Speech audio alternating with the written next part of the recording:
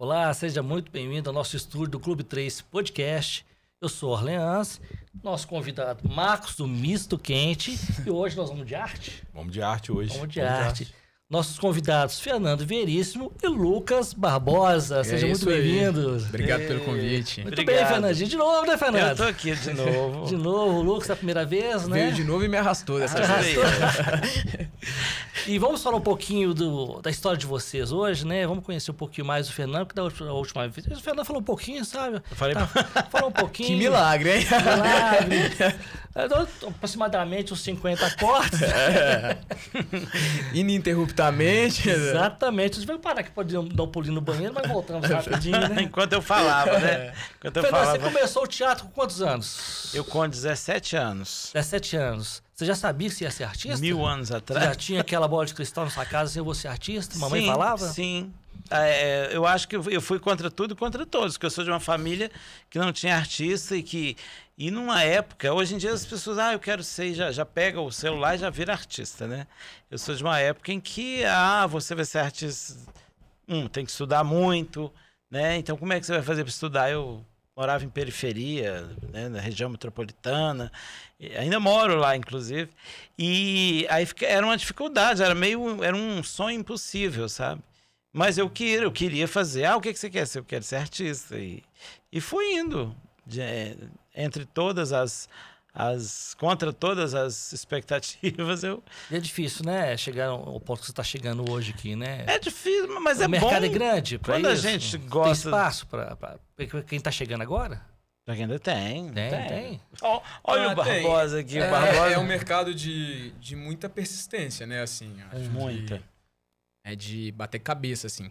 Eu formei na UFMG numa turma de 17 pessoas, hoje deve ter uns, talvez 5, 6 que de fato ainda estão é, trabalhando na área. E não necessariamente atuando, senão dando aula. Tá com quantos anos, Lucas? Eu tenho 30. 30 esse ano. 30, ah, que bom. É. Conta a sua história, então. Você começou com quantos anos? Parece ter 15, né? Oi? Parece ter 15. Ah, Exagero também quem não. Na personalidade. Quem me dera. Na personalidade. Ah, na maturidade. Na maturidade de 15. Tô brincando. Mas eu comecei na escola também. Foi doido, Sim. né? Eu até falo a importância das escolas, tipo terem disciplinas artísticas, né, para despertar isso na gente. Eu, graças a Deus, passei por escolas que tinham muito que valorizavam mesmo a arte, né? Uhum. Ah, então eu sempre tive aula de teatro na escola e aí como diz um professor da UFMG, desde cedo já tinha verve espalhafatosa dos artistas. E aí comecei a. Vi que gostava, que. Le... E as pessoas começam a falar assim: nossa, é bom, leva jeito, não sei o quê. E aí eu sempre fazia uns negócios de santo na, na escola. Sempre, eu sempre era o Santo Agostinho na escola. E, oh, e fazia. Você é santo? pra você. Meu Deus, você vai contar essa história pra você ver. Mas o Santo Agostinho, ele converteu. Ah, então eu ainda tenho oportunidade de. de... Você vê como é a diferença do que eu tava falando. Eu não, não tinha essas coisas nas escolas de, da Você não era época. santa escola, né? Não, não, eu era, eu era. Mas só... é hoje porque minha tolera. eu sou que eu tolero o Barbosa. Mas na, na, minha época não tinha essas disciplinas, esses incentivos. Era sempre assim. Uh, vai arrumar um emprego na Manes. era é. assim que. Na Fiat, né? Na minha era, escola tinha peças de teatro, nós fazíamos é. teatro na escola. Mas eu era muito tímido, você acredita que eu era? Você acredita, Barbosa, que eu era tímido? Acredito. Eu, era ah, eu acredito. Eu acho que a gente tem lugares de timidez, né? Eu, eu, eu, pros lugares, sou muito cara de pau. Hoje mesmo a gente foi fazer um teste de elenco, gravou no meio do supermercado, fazendo uns negócios. Mas para algumas coisas sou muito tímido. Eu acho que a gente é um monte de, um monte de caixa, né? Assim, a gente não é uma coisa só. Mas né? eu, eu continuo tendo minhas caixas de timidez, mas eu era tímido mesmo. Eu era daqueles que eu escondia. Quando chegava visita lá em casa, eu escondia. Eu, eu tinha medo de pessoas. Vai entender, né? Vai entender. Aí voltando à história, quando, quando eu tava para me formar no ensino médio, eu descobri que a UFMG tinha um curso técnico de teatro, chama uhum. Teatro Universitário. E aí fiz a prova, cheguei lá, né? E as pessoas falavam assim: "Ah, eu já estudei teatro no na Alemanha. Ah, eu fiz o quê? Fiz SESI, fiz galpão, não sei o quê". E eu lá assim, né? Aí eu falei, falei assim, ó, só fiz teatro na escola. Mas sempre tive muita disponibilidade, eu acho que. Você e... tinha que ter falado o seguinte, eu era produtor todos os dias. é, fui, eu, fui, eu, fui eu que dei oportunidade para todos eles. Mas eu acho que foi a minha sinceridade que, é. me, que me colocou assim, né? E aí passei na primeira, todo mundo tentava o teatro universitário várias vezes, cheguei e passei de primeira. Isso em 2013. Aí comecei a fazer o TU. É né? uma prova prática? Tem as duas coisas. Tem a teórica e tem a prática. Tem teórica e prática, o né? O que é a prova teórica? Prova teórica, você tem teórica de livro específico que eles te mandam, por exemplo. Ah, manda você ler Romeu e Julieta do Shakespeare. Cada ano tem uma bibliografia específica, claro. E aí faz uma prova a partir dessa bibliografia. E também conteúdo ah, de teatro geral, né? Assim, então aí eles perguntam, tipo assim, de quem é a peça, tal, de qual grupo. Nada muito aprofundado, porque.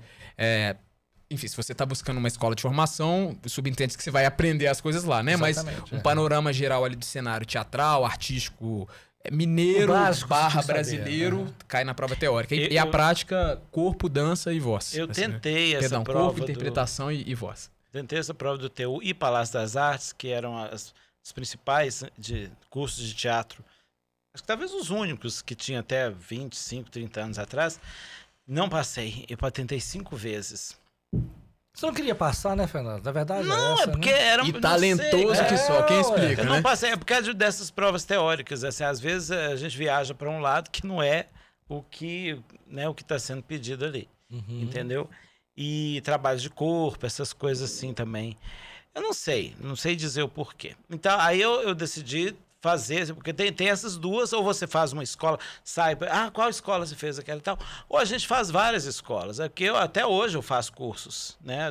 O ator não pode parar. É. Então eu fui fazendo a minha formação em cursos, oficinas que vão aparecendo, que são importantes fazer também. O que eu acho mais legal de uma formação, assim, pra mim, é claro que você aprende muito a prática também, mas acho que a, a disciplina com fazer teatral, assim, o seu entendimento da seriedade da coisa, passar por uma escola tão rígida como a UFMG, te coloca com, com mestres, assim, com pessoas que, tipo assim, te dá uma rasteira e fala assim, filho, calma, você não entrou aqui, tipo assim, você não vai fazer televisão amanhã, sabe? Se você tá pensando isso, pode sair. Isso Mas aqui... o sonho de todo mundo é fazer televisão? Ah, não sei se estou em sonhos de todo mundo, mas acho que faz Já foi. parte, né? É- é- Essa coisa de, de, de BH, a gente antigamente tinha uma linguagem muito teatral, Tem assim. que ter no currículo. É, não sei. Eu, eu faço, acho legal fazer. é, mas tem gente, por exemplo, que quer fazer só teatro e não quer fazer televisão. Ou, ou só televisão e não quer fazer teatro. Acho que vai de cada um, né, Veríssimo? Teatro eu, é eu- eu amplo. acho que. eh, na- na- não gosto de dizer na minha época, que parece que eu sou velho, mas não sou. Mas é porque antigamente a, a- a meta não era só assim. Você é- pintou a barba de, de branco? não, minha barba é branca mesmo. É, assim. branca. É que no final do Eu ano ele faz Papai antes. Noel. Ah. Eu- é, a, a- a meta era fazer televisão. Isso Era, onde era, era o topo pro ator. Era Quando o Veríssimo fez tititi, só se falava isso em Betim. É, não, já em Tititi já estava dando um, assim, uma Um menos importância para a coisa.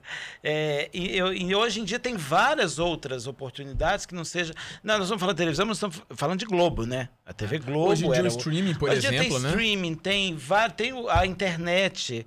Então, assim, tem, Netflix. tem É, várias, tem várias canais opções para o independentes. ator. Pra ele não ficar com aquele sonho de fazer o papel na novela das oito de uma determinada emissora. Entendeu? Tem gente que nem quer mesmo, não. Deus Não, mas me livre. tem, tem muita gente que não assiste mais televisão, né? Tem- Sim! né, eu tenho, tem anos que eu não assisto o Globo, Marcos. O Barbosa fez essa, coisa- essa própria coisa da fama, né? Antigamente o que que era ser famoso? É passar na televisão, né? Hoje em dia as pessoas é. são at- muitos são atores de televisão, E fazem uma novela conhece. Uhum. inteira e terminam sem, ser, sem serem reconhecidas ou, ou, Sim. ou ganhar uma ascensão que, te coloca no lugar de famoso, né? E aí você pega uma pessoa que só tá na rede social no Instagram, você entra lá 7 milhões, você fala assim, ué, quem que é essa pessoa aqui que eu, que eu nunca vi na Mas vida, i- né? isso, aí nós estamos falando de celebridade. Não quer dizer que a pessoa fez novela que ela não tenha feito um grande trabalho e que tenha se satisfeito com aquilo. Né? Que a, a questão de ser celebridade é diferente do ser ator. Por isso que às vezes, ah, você gosta de ser ator, eu gosto, mas você já fez televisão? Não. Sabe, porque o- o fazer teatral, o fazer, o ser ator tem a sua, sua importância, sua, sua delícia, entendeu? É, a, a Laura Cardoso fala essa coisa de ser operário, né? Que ator é um operário da arte. Que a gente é operário, assim. Eu acho que isso que eu tava falando. Quando você passa por uma escola é, na universidade, isso vem como bagagem, assim. Você entender que ser ator é você ser um operário da arte e trabalhar, assim, de muita batalha, de, de conquistas também, de louros, de coisas boas, gostosas, porque afinal de contas a gente tá fazendo o que a gente quer. Mas tem um por trás, assim, que poucas pessoas sabem, assim, da dificuldade, A né? fama é uma dessas coisas gostosas? Acho que Vocês acham sim. que a fama é. Em certo, em certo certo lugar, certo... busca Mas- fama, ou é, ele busca. A pergunta é: ele busca fama ou isso é uma consequência do que. Do Eu trabalho. vou é. falar por mim. Eu busco o reconhecimento de um, de um, de um trabalho meu, assim, um talento que Deus me deu e o trabalho, o esforço que é. Então, assim, é muito bom você ser reconhecido.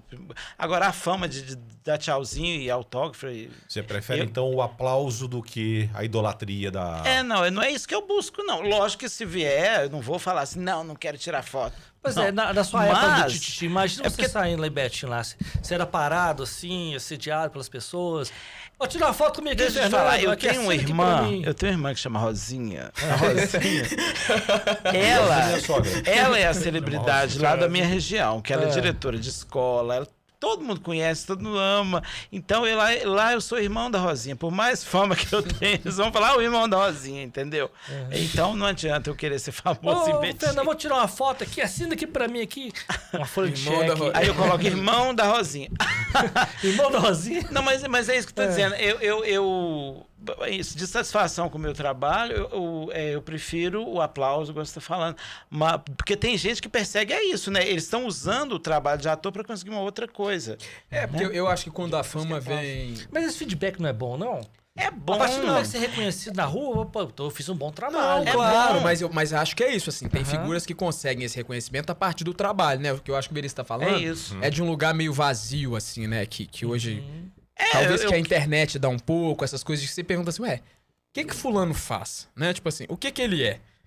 Aí a pessoa não é Celebridade. nada, né? Tipo é assim, no sentido de, de, de, Mais um? de acrescentar artisticamente. E tudo dói. bem também, né? Porque eu, eu aprendi a, a, a- de, de alguma forma, não ficar lamentando, assim, sabe? Tipo, ai, nossa, os influencers, tipo assim, estão tirando o lugar de ator. Não, acho que eles fizeram o corre deles, É isso que eu conseguiram. queria perguntar pra né? vocês. É uma pergunta pra vocês dois. É, dói no coração quando você vê uma pessoa menos talentosa, ou que ela não, não tem o talento, mas tem a, a fama de ser influencer ou de alguma outra. Ou, ou ou afilhado de não sei quem que tá fazendo aquilo ali que vocês gostariam de estar fazendo. Não, quando é eu concordo com o Lucas. De, de- eles, eles fizeram o corre dele e é uma outra, uma outra vibe. Eu acho que por É um porque, caminho, né? Porque você é ator, você não quer ter um canal no YouTube. Não é esse o meu talento, entendeu? Agora, quando eles tomam o lugar de um ator de verdade no, no papel principal, eu fico meio assim, pô, sacanagem. Mesmo porque vocês estudaram pra É, isso, é, né? a Tem uma gente sonha com um isso, trabalho. Eu acho incômodo, assim, mas é o que eu, é é porque muitas vezes não tá nem nesse lugar do influencer. Ser ator tem essa coisa do perfil também, né? Que é um grande. ah, não- Não determinante, mas assim, um ponto muito importante, por exemplo, uma escalação, né? Às vezes, assim, você olha e fala assim, nossa, eu acho que eu faria isso melhor. Mas às vezes a sua cara não tem a cara daquele produto ou daquele, né? É, e a E TV, diferente do teatro, a TV ela quer vender. Principal meta da TV é essa. Então, se você tem, tem é, é, é, mais ferramentas de venda, ele, é, isso é- na TV é mais importante que o talento. E não é só de hoje, da época dos influencers, não. Isso é, por exemplo, um jogador no cinema americano, um jogador de basquete faz um filme e ganha cinco vezes o salário do ator coadjuvante dele, entendeu? É, o, que- é- o que eu é aprendi, te- tô aprendendo na verdade, é não, é não julgar contra, assim. É nadar a favor da correnteza. Tipo assim, tamo aí. Qual que é o cenário atual? Tem os influencers, tem os atores famosos que muitas vezes vão pegar as coisas, tipo assim, eu tô correndo atrás do meu, assim. Não dá pra ficar, tipo assim, poxa, que injustiça. Fulano, isso. Claro que há um lugar de chateação. É nem- isso que vocês estão falando, né? A gente estuda tanto, batalha tanto, e muitas vezes você se acha mais preparado pra estar ali do que uma pessoa que você vê, que às vezes caiu ali de paraquedas, não sabe nem o que, que tá fazendo. Ele não dá nem Mas é tempo, isso, né, né? Barbosa? O, o Lucas Barbosa é o cara que mais corre atrás dessas coisas que eu conheço. Assim, eu, eu, eu estar ligado a ele de amizade e profissionalmente, para mim é uma alegria, porque é, eu, eu, eu já estava me sentindo naquela idade que, ah, não vou correr atrás disso mais, não, etc. E, e, Mas e tem ele- idade pra fazer teatro? não tem, não, mas é- eu come- a Então. gente começa a cansar de, ah, toda vez eu tenho. Mas aí, assim, quando eu conheci ele, eu conheci ele em 2019, eu falei, gente, é, é, é como se renovasse. Falei, não, a gente vamos, vou tentar, ué, isso é legal. E, e- que, aí, que se eu tivesse na vibe que eu tava, eu ia envelhecer como artista. Envelhecer como artista, ficar lembrando, ah, eu já fiz peça assim, eu já fiz peça assada, eu não gosto, eu não gosto disso. É, Eu e gosto uma, de falar da peça que eu tô fazendo hoje, sabe? uma coisa que eu aprendi também é entender a arte como, como um negócio também. É um Assim. trabalho, né? Isso é a nossa profissão, assim. Eu, eu, Uhum. muitas vezes, uns atores que estão começando carreira vêm pra conversar comigo. Eu falo assim, eu não sei se eu sou a melhor pessoa, que eu sou muito sincero também, assim. Às vezes falo assim, ó, As pessoas falam assim: ah, quero abandonar tudo, quero sair do meu emprego pra fazer viver de arte. Eu falo assim: não faça isso. Eu sou essa pessoa. Assim. Stop! É, porque assim, Para. Hoje, cada vez mais eu entendo que você pode ser só artista, assim, mas assim, vai entendendo, né? Porque, tipo assim, no Brasil não é fácil viver só de arte. Viver só como, como, como, como artista, né? Então acho que entender o seu trabalho como um negócio, como business mesmo, tipo assim. é- é- não dá, tipo assim, quando você é mais novo, você vai fazendo tudo, ah, topo. né? Chega uma hora que você fala assim, isso vai me dar dinheiro? Ou então assim, isso vai me dar um reconhecimento profissional, ou então vai me dar, tipo assim, um, um aperfeiçoamento técnico, você vai começando a entender que a coisa tem que te, aquele trabalho, aquele, né, um projeto que você entra, ele tem que te dar alguma coisa. Eu, eu elenco três coisas assim: ou é um reconhecimento, ou é grana, ou um aperfeiçoamento técnico mesmo, né? Você vai começando a entender a arte como um, um ofício e um negócio mesmo, assim, pra você não ficar essa coisa você de. falou uma coisa tão interessante, viver. porque já, já passaram diversos artistas aqui. Todos eles tinham um, um- um outro tipo de trabalho. Né? Como assim? Você você não vai viver só de arte. Igual o Lucas está falando, não viva, você não vai viver só de arte. Você pode dar sorte de alcançar o, o limite ali, que o topo e, e seguir. Mas nem todos os artistas vivem só da arte. É, e eu acho que é pessoal também, né? Eu É. não tô falando que tem que ser de um jeito ou não tem que ser. Por exemplo, tem gente que não aguenta fazer outra coisa. Eu aguento. Eu, eu tipo assim, eu, eu faço mi- mi- minhas, minhas artes várias, faço tudo. Uhum. Um dia eu tô no teatro, um dia eu tô apresentando, um dia eu faço um podcast, um dia eu tô fazendo mestre de cerimônia. Eu faço muita coisa, assim, eu consigo me desdobrar. Não, vou pegar um exemplo vocês dois mesmo aqui. O Fernandinho, quando não é um artista, um produtor, você é o quê? Funcionário público. Funcionário público, né? E tem. Você.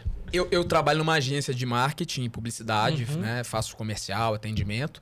E mil outras coisas como, como ator, artista também. produtor, né? Deixa eu dar um tô- exemplo para vocês. A gente fica muito no campo da arte, mas eu acho que vocês estão falando aqui, eu estou associando a, uma, a uma outra, um outro contexto. O, o contexto do Brasil. O Brasil hoje tem aproximadamente mais de 15 mil jogadores de futebol. Jogadores profissionais registrados, né?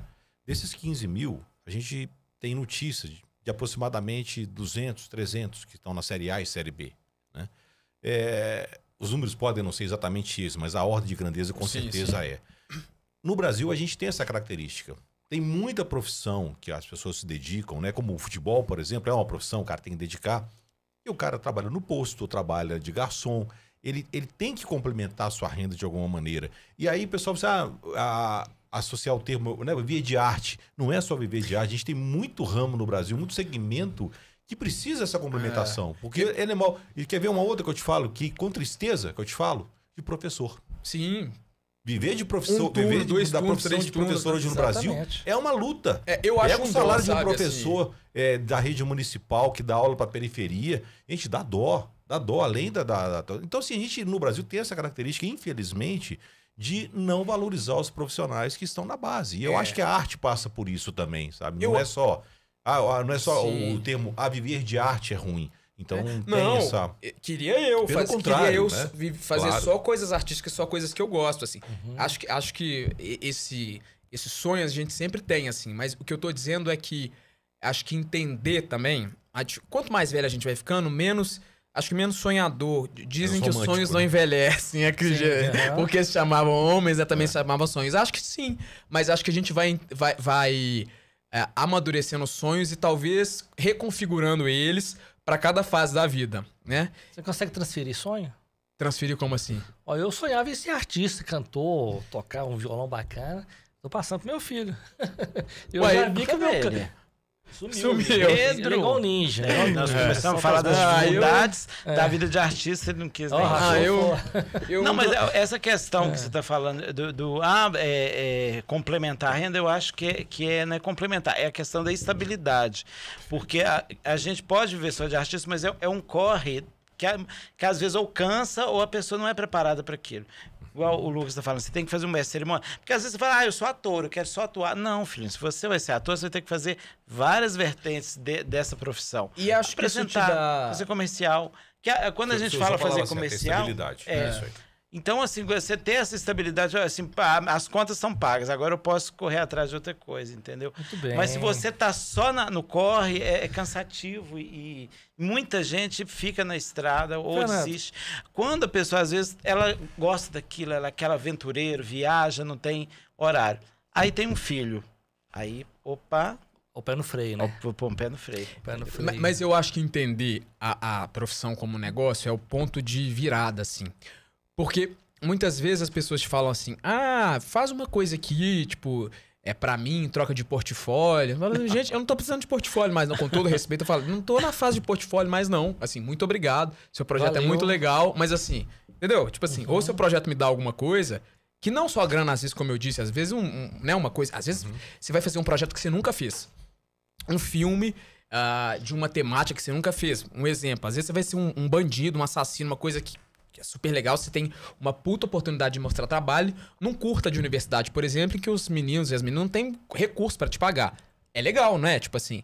Então você estuda aquele projeto e fala assim: ah, beleza, eu não vou ganhar uma grana aqui, mas isso vai me dar um. Talvez um Projeção, material, né? talvez um, um lugar de experimentação menos profissional em que eu posso me arriscar, não é? Uhum. Porque chegar também num produto profissional dá um, dá um cagaço assim mesmo, tipo assim, pronto, né? Gela Tipo assim, tudo, né? Aqui eu não Ligou. posso errar, né? né? Aqui- Então, essa coisa de experimentar, veríssimo, até retomando aquela coisa também de, de ator que forma numa universidade, de ator que forma na vida, eu acho que depois que você sai da universidade, você tem alguns princípios uns- e, e- e algumas diretrizes.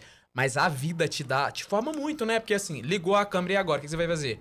E Ou aí? então, entram em É, cena, e né? em TV vai- não tem aquele diretor paciente que vai te explicando. Se você não, Não, sabe tem, não fazer. tem Não. tempo pra isso. se você né? não sabe fazer aquele, aquele Tchau tipo pra você, de. manda o outro né? e pronto, acabou. Não, não é nem tchau. É tipo, você vai fazer ruim, vai ficar ruim gravado. E quem assistir Novela, vai falar, então, é. credo, que ator é esse? Não, mas, por entendeu? exemplo, mas o cara que é produtor, o cara que é diretor, ele vai acolher isso? Não, eu, eu- isso é minha produção, isso é minha. É, Na direção, televisão? Tira esse e Não, coloca mas muitas vezes não, tem nem tempo. não tem porque, assim, tempo. gravar cinema é muito diferente, assim. Quando você grava cinema, você repete a coisa 5, 10 vezes. É, assim. aí tem aquele diretor cuidadoso. Aí faz um plano daqui, faz Então, um na seleção ele já contraplano. trabalha nisso, né? A É. TV industrial é o seguinte: faz a cena, gravou, chama a outra, faz a cena, gravou, Tem chama a vezes que na TV você grava de primeira, assim. E aí você fica assim, hum, quando eu vou fazer de. Ah, posso melhorar aqui. Próximo, bora pra outra cena. Melhorar. Porque assim, Já é era, uma né? indústria, né? E cada Já dia era. ali, cada, cada minuto é muito caro, né? Você tá falando de equipamento e seguro disso, não sei o quê. Não, e, tem e, né? Tem tudo. Tem um grupo atrás também, você não paga e tudo, é, né? Então, televisão, assim, é muito expresso. E é isso, acho que a- fazer esse tanto de coisa também que a gente faz, dá pra gente autonomia e. Ah, bagagem mesmo, que você vai acessando, Bagagem, tipo assim, ah, E chega uma época que a gente, por exemplo, o, o, o Lucas está numa idade. Às vezes eu fico pensando, nossa, mas o Lucas está fazendo tanto trabalho e eu não estou fazendo tanto trabalho quanto ele. Será que tem algum problema? Será que eu não estou correndo atrás? Aí eu penso, não, na idade dele eu tinha eu, é- é- esse volume, essa avalanche de trabalho. Depois, é, a gente tem que começar a produzir os próprios trabalhos para poder trabalhar, porque a, a papéis para aquela idade já são escassos. Isso eu vi, eu vi os atores de televisão falavam, eu pensava no teatro isso não acontece, acontece também e tal. E a gente está produzindo agora o nosso próprio espetáculo. Ele, quer dizer, ele já começou mais cedo, né? A produzir o espetáculo, eu acho isso maravilhoso, porque ele já, já vem com essa bagagem, inclusive, de, de aprender produção, que eu comecei a aprender agora nessa idade. Deveria, poderia ter aprendido antes, mas como a gente pensa que vai estar sempre naquele lugar de ator, é, não preocupa muito em aprender. Questão, falando produção, questão de financeiro, que aí vem uma burocracia danada. Não é à toa que a peça chama como vencer a burocracia. As burocracias de produção. Né? Vender um espetáculo, ligar para fornecedor, para prestador de serviço, colocar público lá Colo- dentro. colocar Então, público cada lá dia dentro. mais- Isso é promoção, o arte. cara deixa de ser ator pra ser produtor e corre isso tudo. Você faz tudo, né? Eu Faz acho que tudo, quando faz você tudo. decide ter uma peça sua, você é. É você- claro que você tem uma equipe que te ajuda, mas assim, você carrega cenário, você Sim. monta as coisas, você divulga, você faz. Você é social media, você, entendeu? Você, você é tudo. o é glamour, coisa eu não- até- Mas tava você não querendo- cria uma equipe pra isso, não? Ou você tem que fazer isso tudo sozinho? Cara, muitas Mas aí você tem que gerenciar essa equipe. Gerenciar a equipe. Quando a gente é só é ator, custo, né? ah, Mas é mais só gerenciar Não, a por equipe exemplo, que se- você tem Mas se você tem um projeto É, aprovado por lei, por exemplo, assim, que tem grana entrando, você consegue colocar as rubricas todas nessa tabela, tipo assim, social media. Sim. Agora você faz uma temporada, é, tipo assim, isolada no meio do ano. Curta Como é que você vai duração. ter um, alguém pra, tipo, ser social media, alguém pra ser, tipo assim, para ser um produtor mesmo que vai comprar as coisas. Então, tipo assim, Tem que ser você mesmo. pra coisas economicamente funcionar, a gente tem que naturalmente fazer de tudo. assume outras funções, assim, né? Claro que você tem um cara que vai operar a luz, a pessoa que, que o produtor que vai receber o público ali na hora, tem coisas que são básicas, mas outras coisas, tipo assim, ah, tem que ligar pra. Nossa, ligou lá no teatro, combinou, os ingressos estão vendendo, a gente faz muito essa coisa, tipo Faz. assim. Não tem essa coisa, tipo de assim. acompanhar, né, como é a evolução. Uma coisa é né? ser ator contratado. Né? Você trabalhar com. A produção não é sua. Que horas que é? Beleza, cheguei, fiz meu, meu, meu, meu espetáculo, ganhei meu cachê ali pela, pela aquela Recebeu coisa fui seus embora. aplausos, glamour, vai com o glamour dos aplausos pra casa. Mas quando você decide produzir, Quando é é produzir, né? aplaude, aí vem a Primeiro fala. é chegar e o último a sair. Guarda, Oh. é, aí vai guardar cenário, vai pegar o figurino, se precisar lavar, você leva pra casa.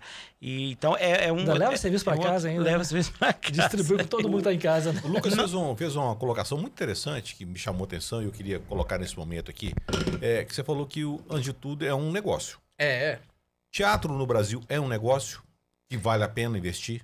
Como, como investimento, vocês estão produzindo agora a peça de vocês.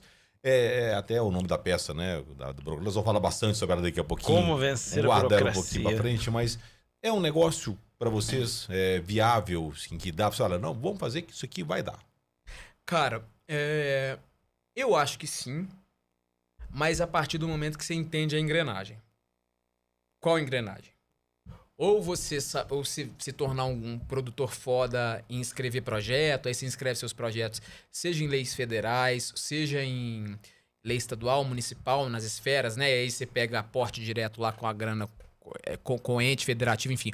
Ou, ou uma empresa te patrocina, ou quando você arruma estratégias pra pra fazer aquela coisa funcionar, né? Mas é isso, eu acho que você tem que entender a engrenagem. Tipo assim, não é. Tipo assim, vou investir em arte. Pronto, retorno garantido. Não. Acho que Tem que- tem que funciona, mas você tem que entender como fazer mesmo, sabe? Como fa- eu, eu- eu acho que teatro, antes de tudo, é arte.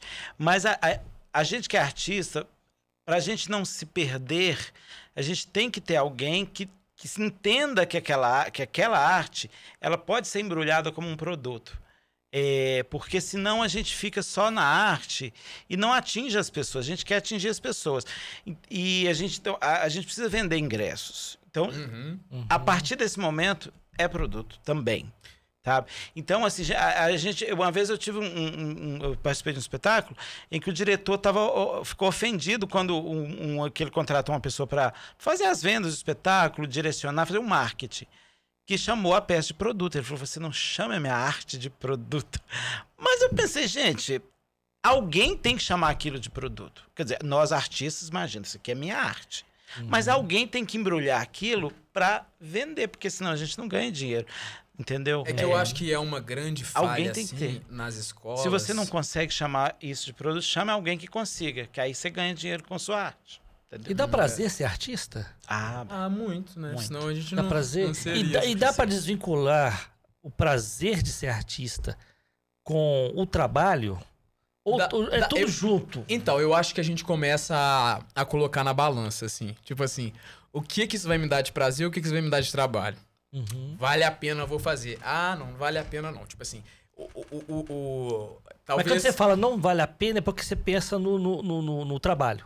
no trabalho, no trabalho, na grana, em várias coisas, assim, né? Sim. Tipo assim, fazer esse trabalho, em Se resumo. fosse por prazer, você iria. É, fazer esse trabalho. Aham. vai me dar talvez um reconhecimento, um prazer, uma coisa legal. Beleza. Aí o que que tá por trás? Tipo assim, talvez é tanto esforço e tanto tanto investimento, nem tô falando financeiro, mas de tempo, de coisas que você passa a falar assim, não, seria legal, me daria prazer, mas não, não vou apostar nesse projeto. Vou fazer isso aqui que talvez nesse momento compense mais. Então acho que é isso que, que eu queria dizer também. Quanto mais você vai, quanto mais tempo você tem de profissão, mais você vai entendendo a comparar o que, né? Tipo assim, isso me dá prazer, mas também o que, que me dá de trabalho, né? Pra, a, Fe- a Você Fernanda, essa pra ideia? ficar sustentável mesmo. Então, a Fernanda Montenegro tem um vídeo dela maravilhoso que eu volto e meio eu compartilho, que é ela falando o seguinte: se você for colocar no papel equações, somas, estatísticas, você não vai fazer teatro no Brasil. Ela fala de Brasil. Você não vai fazer, porque você coloca aqui e você fala assim, vai dar merda. Mas a gente que é artista, a gente tem que ir. E se, sabe? Tem que arriscar, né? Enquanto artista. Por isso que existem os produtores. Produtor, é, um- é- é- às vezes a pessoa fala, ah, produtor é muito importante, é para não deixar você ir fazer merda. Fala, assim, fica aqui, não faz isso não, É. entendeu? O produtor tem essa, essa coisa assim. É, é, que nós não temos muito em Belo Horizonte, mas é, é- como é que chama, Barbosa? O- em inglês é manager. Manager. O Um empresário, empresário, empresário, pessoa que, é. de escritório que gerencia a sua carreira. Para que você cresça e não. Porque a gente que é artista, a gente quer fazer. Fala, ai, É. meu Deus, não vou ganhar nada, mas eu vou fazer um Shakespeare. Agora é muito chato também, Não, vai gente não, que só tem que reclama ganhar, assim. entendeu? Aí, é, porque você tem a opção de não fazer, não é verdade? Então, é claro que tem todas as dificuldades, mas eu acho que, tipo assim, ok, tem, e aí, bora, né? Vamos fazer desse limão a limonada, porque você, você encontra com as pessoas também, tipo assim, ai, não dá mais, ai, não sei o quê. e aí a pessoa já não tá fazendo mais nada, então casca fora, né? Tá tipo fora- assim. Sai fora do mercado. É, porque também não, não, né, não- ficar mais A lamentando, então... importância, agora eu quero falar que a importância de você se associar a um cara jovem, mais jovem que você Você profissionalmente. tá roubando a energia dele, Fernando? Não, nada, porque eu, eu tinha medo. Eu de roubo che- talento. Eu tinha medo de Essa balança chegar. ficou legal, tá vendo? Não, sério, Não, eu ficou tinha a medo balança. De... Essa balança é ótima. Essa balança. Não, mas Essa sério, eu, eu- quando eu comecei a conviver Esse com equilíbrio. com- esse equilíbrio distante. Quando eu comecei a conviver com o Lucas Barbosa, eu, eu, eu, eu, eu me atinei pra isso. Eu tava ficando um ator. Eu tava com medo de ficar assim, sabe? Eu, é, é, as coisas mais simples, assim, que hoje pra mim são simples, mas que eu vejo atores da minha idade tendo a mesma reclamação que eu tinha antes de conhecer. Por exemplo, internet. O- a ferramenta da internet, a ferramenta de você ter o celular, que muitos atores acham que está atrapalhando a carreira deles. Na verdade, isso é um ganho pra gente. Né? Então, assim, eu convivendo com uma pessoa jovem que tem, é- é- que tem esse, esse olhar positivo sobre essas coisas, é muito importante. Eu recomendo a todo mundo, filhinho, se associa pessoas mais jovens. Ah, foi que você lembra aqui, Fernando, que eu entrava sério, o Marcos tava sério, você olhar pro outro, você vai dar merda. Aí eu chamo o Enzo, Olha aí. o Enzo o Enzo fala de quantos 10 anos? palavras assim, que, que, que começa a falar aqui, no nove a gente já tá rindo, do- da primeira a gente tá rindo Ué, aqui, bom né? demais, né? Tem uma coisa que chama A self-tape. aqui com a gente aqui, É né? bom Tem uma coisa que chama self-tape, que é uma Aham. coisa que na pandemia isso cresceu e eu vi- veio para ficar. Que a- quando a gen- eh, antes a gente fazia teste para algum para um filme, novela, eh, a empresa vinha, a- alugava um estúdio, como por exemplo aqui, alugaria esse estúdio e o pessoal da equipe vinha, você vinha fazer o teste Uhum. e tal, era, né? Era esse esquema. Agora não, agora você faz o teste com seu celular em casa. E já envia, já. Só que é muito trabalhoso. Você tem que colocar, tem que ter uma luz certa. Eles não aceitam que seja uma luz qualquer. Tem toda uma coisa que é Mas além de chato não fazer. tá ali já aproveitando seu conhecimento de iluminação, de presença de palco, essas coisas. Mas é meio né? chato. Teve um Sim. teste que eu fui fazer É. que eu tive que Já é comer. avaliação no teste, né? Talvez. É isso que eu te falo, sabe essa coisa de não ser só ator? O self-tape é a maior prova disso. Se é, se é câmera, diretor, é, é figurinista, você tem que pensar uma roupa que faça sentido pra aquela. Pra, pra aquela marca, às vezes, né? Às vezes, eu, Tá quando vou vendo? fazer teste, eu olho, eu, eu digito no Google assim, a marca. Aí eu vejo quais são as cores da marca. Aí eu ponho umas blusas da cor. Porque, Tá tipo assim, vendo? provavelmente quando você for fazer o teste, eles vão te colocar lá, se a marca é azul, aí vai colocar uma blusa branca com jeans azul em cima. Então você já vai dando os migué. Viu? E é isso. Eu- mesmo Mas é isso que o Veríssimo tava falando, acho que. Eu fazia self-tape antigamente com um fundo branco atrás de mim. Pra mim tava ótimo. Olha, olha as nuances que a pessoa. Né? Mas é isso. Aí eu acho que é entender os dois lados da coisa. O Veríssimo tá falando desse tanto que, que é trabalhoso e tal, o self-tape, mas ao mesmo tempo, ele te possibilita você estar na sua casa e fazer teste para BH, pro Rio, para São Paulo. Pro mundo, né? Então, é, é, testes internacionais. Então, eu acho que mais uma vez é tipo assim, vamos tirar proveito do que é bom aqui, né? A, a- a boa parte dos trabalhos que eu tenho feito fora de BH, eu da minha casa gravo, fazer, mandou. Aí chega uma mensagem assim, E ele aprovado. faz, viu? Ele Aí faz. eu vou, viajo e faço um negócio. Imagina antigamente, antes da pandemia. E- Ah, Se Tinha tinha, que bancar a sua viagem pra chegar é, se lá a publicidade não era de São aprovado. Paulo, o teste era presencial em São Paulo. né? Uhum. Hoje tem as coisas do, do callback, né? Que muitas vezes é assim. Você tem uma primeira, uma peneira ali, você manda uns vídeos, aí às, às vezes eles querem fazer uma coisa. Às vezes o callback é presencial, né? Aí vai presencial. Mas aí já peneirou mais, você tá um pouco mais perto de pegar a coisa, né? Seja a publicidade, seja o conteúdo mesmo, novela, série, entendeu? Aham. Mas, mas o, o self-tape já dá uma peneirada e te dá uma, uma certa ah, praticidade, né? Então você vai entendendo a julgar Show o de jogo. bola. Vocês viram aí, né? E, te- e eu ainda vejo a- eh, os atores da minha idade que têm o mesmo discurso que eu tinha até 2019, que é quando eu conheci o Lucas. Ai, detesto self-tape. Ah, não vou fazer isso não. Não aguento esse negócio. Faça aquele, faça, você tem Seu mil casamento que deu certo, então, né? Pois Meu é. amor, o Veríssimo fala, esses dias ele tava rindo, porque os meus self-tapes são tudo. Eu tento seguindo as coisas. Então, se é tipo assim. Não, ele faz é um filme. Se é um motorista, o teste pro motorista, como é que eu vou ficar numa parede branca fingindo que eu tô dirigindo? Não dá. Aí eu, Anotem aí, gente, as dicas aí do eu Lucas entro num carro, ponho a câmera lá e tento deixar o mais fiel possível. Porque, às vezes, ah, você tem que seguir. Às vezes vem assim, faça no fundo branco. né? Beleza, às vezes eu faço, às vezes eu, às vezes eu ignoro, às vezes eu faço duas E opções. ele me põe em cada enrascada pra fazer esses testes com ele. Às vezes eu mando os dois, porque assim, o que que eu penso? O motorista não vai estar numa parede branca, né? Aí é assim, quando, resumindo, quando o teste não vem com, com uma indicação do lugar de fazer, Deixa livre pra você. eu né? sempre tento deixar mais. Esses dias, né, a gente tava assistindo um teste que eu fui fazer pra um jogador de futebol. Eu fui pra um lugar que era um campo aberto, corria, ah, vai na bola, não sei o quê. Pra dar, ficar mais. Aí tava de chuteiro, pelo menos? Não tava não, porque eu não tinha essa Ah, vamos chuteira. Foi conhecendo, passou, Pegou noite daqui pra- passou. Pegou daqui pra Lucas, cima. me, me fala uma coisa aqui. É, quantos personagens você já interpretou durante esse período, essa- esse período de, de teatro? Nossa, digamos Deus, vou assim? ter que pensar e te responder E qual foi o depois. melhor? Assim, a personagem que você achou assim, ó, esse aqui foi top. Cara, eu gosto muito desse personagem que eu faço com, nessa peça, assim. Acho que Uhum. é o personagem que eu fiz durante mais tempo e mais tenho oportunidade de. E foi sua primeira comédia, né? É, de. é, ir descobrindo meu trabalho, sabe? É, primeiro que fazer comédia é um, um exercício, assim, Difícil, não é mole, né? Tem dia que você entra e o público tá assim.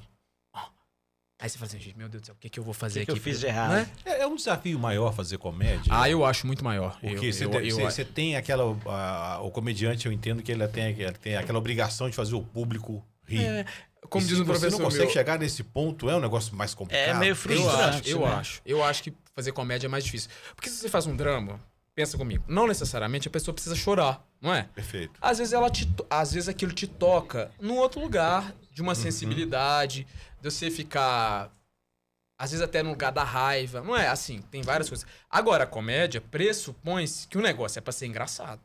É, E se não Você é, pagou pra ser engraçado. Quem, Não tá é. lá pagou pra, pra rir. pagou aí, pra é, rir. aí é, aí é triste, né? Aí, aí é produto do Paraguai, né? Não funcionou Sim. muito bem, assim, porque...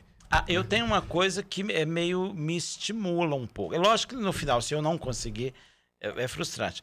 É, eu não falo nem eu consegui, eu não me sinto essa pessoa, eu vou fazer as pessoas rirem. Eu, eu, go- eu acho que eu comungo. As pessoas entenderam a vibe e riram comigo. Não, não comigo, mas riram com o meu trabalho lá junto. Né? É, mas eu fico meio assim, tipo. Eles não riram hoje. Não, ah, mas eles vão rir. Agora na próxima cena, eu gosto de ser Ah, assim. vocês vão ah, ver. não, Vou dar a falo- cutucada aqui e agora. né? quando, e quando eu- na, na- na nossa peça a gente não tem oportunidade de, de ficar nos bastidores, com- né? Mas quando tem mais atores eu tô lá atrás, gente, vambora, vambora, que eles não estão rindo, não. Entendeu? É, isso é muito doido, deixa que- porque... No, no- no caso do teatro, é, essa responsabilidade, ela não é muito compartilhada com o roteiro, com o que você tem ali? Porque se Claro. pegar um stand-up, por exemplo, o cara chega ali de cara aberta, ele tem que fazer. Ele também tem o roteiro dele, né? Tem, é Tem, tudo, é tem. tudo Ali, escrito, né? Ele, Boa parte da responsabilidade não estaria no roteiro. boa parte do, do trabalho de stand-up é em casa escrevendo as piadas, assim, Sim. né? Ba- e, ó, o roteiro é importante, mas tem uma coisa que além, além do ator também é importante. No, no espetáculo de teatro, que eu acho que não é o caso do stand-up, o diretor também. No nosso caso, É é muito, foi muito crucial. E nós temos um diretor que é o mestre da comédia, assim, eu, eu coloco no nível nacional, eu não acho que ele seja só de Belo Horizonte, que é o Ilvio Amaral. Então, assim, o nosso texto, quando a gente leu, eu falei assim, olha, o Ilvio, o, o Ilvio dirigindo essa peça, você vai ver o tanto que, que o povo vai rir disso, entendeu? Você, eu, preciso, eu fazer a mesma pergunta que eu fiz pro Lucas pra você. O quê? Do, da personagem que você. A quantidade e qual que você gostou mais de fazer? A quantidade eu não vou É, você saber. não tem. te Você, falou outro dia 90 e Você 10. precisava ter feito Você essa falou pergunta 90 e antes 10. pra gente Pra contar. fazer as contas. Você não veio preparado, não passou o roteiro, preparado. não, né? Mas eu, eu gosto mu- muito de. Tá mais próximo 90 de e fazer. a 10, irmã pronto. Cotinha eu gosto muito de O fazer. Pedro falava muito quando era pequeno, 90 e 10. 90 e 10. Sabe a irmã Cotinha? Eu gosto 80 e muito de 20. fazer. É, A irmã Cotinha, né? irmã Cotinha é. o meu clown, assim. Aqui, deixa eu faço- aproveitar aqui, aqui, ó. É, o Arley tá O falando Arley. aqui que a peça será um sucesso. Ah, obrigado, Ah, obrigado, né? Arley. O Vinícius Andrade Martins também batendo palmas. Ah, Obrigado. Wesley também falando, queridos talentosos. Wesley Marchiori? Isso, exatamente. Ah, é, aí. Um grande Léo autor Pinto, de meu diretor. Fernandinho tinha campanha. Ó, cara, ele tá falando que você teve, participou de campanhas aqui que você fazia cinco espetáculos ao mesmo tempo. Sim, É verdade. Sim. Tô falando que tem uma Ó. época que eu tava com um monte de trabalho. Esse é o Fernando Veríssimo. então, Cinco espetáculos. Já, já, já cheguei. O, o Veríssimo, só retomando essa coisa da direção, o Ilvio Amaral é o do Acredite um Espírito Baixou em Mim, né? Aham. Que é a peça mais é, de comédia mais famosa, assim, de Minas. E acho que é a que tá em mais tempo em cartaz no Brasil. Tá, assim, salvo engano, estão há 25 anos São em 25 cartaz. anos. Com a 25 mesma anos. peça, né? O Ilvio o Amaral e o Maurício Canguçu. Então, no início, eu falava com, com o Veríssimo assim: Veríssimo, o Ilvio não gosta de mim. Porque o Veríssimo era velho de guerra de comédia, né? E- não, e eu amigo do E Ilvio eu era minha tempo. primeira comédia. Ele, ele, ele era inseguro, ele falava assim, ele não gostou. E eu já conheci o eu falei, o, o, o- o Lucas Barbosa, que eu chamo de Barbo- Barbosa, se ele não te xingou, se ele não falou assim, tá péssimo, é porque ele gostou. Porque o É. Will, Ele é E assim, ele eu fala falava assim, mesmo? o Will, viu? Nossa É. senhora. E, e sempre com muito carinho, respeito, mas é aquela coisa assim. Tudo que o Veríssimo fazia tava maravilhoso. E eu, cada dia, ele arrumava uma coisa. Barbosinha, do Barbosinha, esse texto seu, isso tá... E uma, ele tem uma voz grave, né? Ah, ele eu- fala- eu- tudo no mesmo tom, não sei o que, não sei o que. Barbosinha tá muito ruim, É, Barbosa tá aí eu muito falava assim, ruim. puta merda, o que que eu vou fazer, né?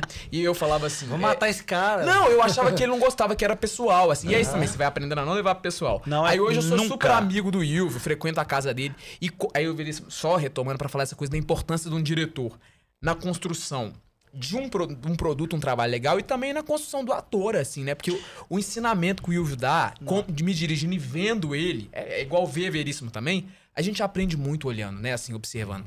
Caramba, O Will vê né? aula. é, o e Will... às vezes você tem uma, uma piada. Se você fizer ela num tempo, é um tiro de risada. Meio segundo de diferença, ou um tom. Às vezes, às vezes você vai falar uma coisa, você joga no grave. Ah, mas tá vendo? Às vezes você joga no agudo, entendeu? A palavra é a mesma, a coisa é a mesma, mas a, A escolha forma, que é. você faz de como. E o tempo, porque você escolhe É pra dar aquela resposta e fala assim, é mesmo. Sabe? Aí você dá um segundo a mais e fala, é mesmo, sabe? Assim, a plateia compra. E o Wilvio Amaral, ele é, assim, ele é matemático com essas Matemática, é coisas. comédia matemática. Eu- gente, é. Vocês, é, vocês devem lembrar certamente, o Veríssimo com certeza, do Veludo Cotelê, que Lembro. fez um- uma, uma peça aqui em Belo Horizonte. E eu lembro que eu fui assistir essa, Veludo- essa peça. Engraçadíssima a peça, né? Foi no, na sala. Mas eles tocavam, era uma, Eles, tinha tocaram, banda eles também, tinham uma né? banda do Veludo Cotelê e A eles Inês fizeram uma. Peixoto, do Grupo Galpão, fazia É, parte Veludo exatamente. E, e você tá falando do tempo, eu lembrei, engraçadíssimo, porque nós fomos assistir a peça. E, e eu sei que a peça é engraçada o tempo inteiro, é comédia o tempo inteiro. Mas chega no ponto da, da peça que o negócio fica mais sério, e ele- Uhum. aí eu acho que ele vai e vai tirar a blusa da menina. O negócio todo mundo dá aquela, aquela, aquele tom de, né? Dá um- uma suspense suspensão no teatro. assim, né? E como o negócio é comédia. E, e Ninguém aí, gostou, né? Chega, e eles colocam, eles colocavam até um telefone no meio do, do- da plateia, assim, pra tocar o telefone do lado da pessoa, a pessoa pegava. É engraçado isso. Aí chega num ponto que a- a- o ator principal ia tirar O público já tava a assim, blusa ó. da menina, né? E todo mundo Na expectativa. esperando, né? Vai, Aí vai. vira um cara lá atrás, sabe? Tira logo, Ricardo. O cara quebrou o clima da, da peça dele com o tempo. E, o tempo. e os atores abandonaram a peça, começaram a rir. Pra re- reencontrar o tempo da peça de novo foi engraçadíssimo. Mas É. tudo dentro de um contexto. O que você falou do tempo é, é fundamental, mesmo. O né? bom da comédia é isso, né? Porque é.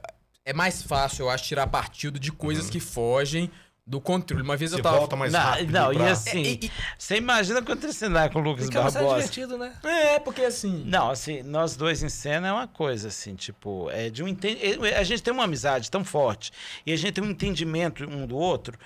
Isso em cena fica tão, assim, às vezes é um. é um- e, e o Lucas ah, é mestre de tirar coisas de piada que saiu na internet ontem e ele jogar na peça. Se eu não estiver preparado, a gente ri em cena. Para, né? A gente ri em pra cena. rir, né? Teve uma vez é, que eu, é, eu faço na peça eu faço um funcionário público, o Veríssimo é dado como morto, né? Só já entrando um pouquinho. E aí tinha uma mulher e eu faço muita é, picardia com ele assim mesmo, tipo assim. Ele quer resolver a coisa, Eu eu fico sofro. enrolando pra resolver, Eu né? sofro demais. E aí tinha uma vez, tinha um dia com uma mulher, tudo ela comentava, falava assim: "Ah, pelo amor de Deus, não e alto no público assim. É, É, não- que absurdo isso. Ah, não, não faz com ele, não. Não deixa não. E aí E você na- tira na- partida. Eu falei com, com, com ela uma hora assim: "Quanto é que ele te pagou pra você vir aqui?" E aí você consegue tirar proveito da situação assim, né? Acho que a comédia te dá isso com mais facilidade. isso dentro do texto. É, né? é, Eu vou contar uma do Fernandinho pra você aqui, então. Conta. Ah, meu O Deus. Fernandinho foi convidado para poder apresentar uma, uma peça de teatro era para um seminário de- da Polícia Militar na área de trânsito. Meu Deus. O auditório cheio de policiais, né? Todo mundo sério, carrancudo. Eu falei assim, Fernandinho vai apresentar esse teatro para um grupo de pessoas que não costumam rir, não. Né? Aí chega o Fernando, vai pro, pro, pro palco, aquele negócio todo, distribui a turma toda dele lá. Resultado da, do teatro lá. Me dá o telefone do Fernandinho que eu vou pedir pra fazer o teatro para mim Hum. gostaram tanto do Fernando.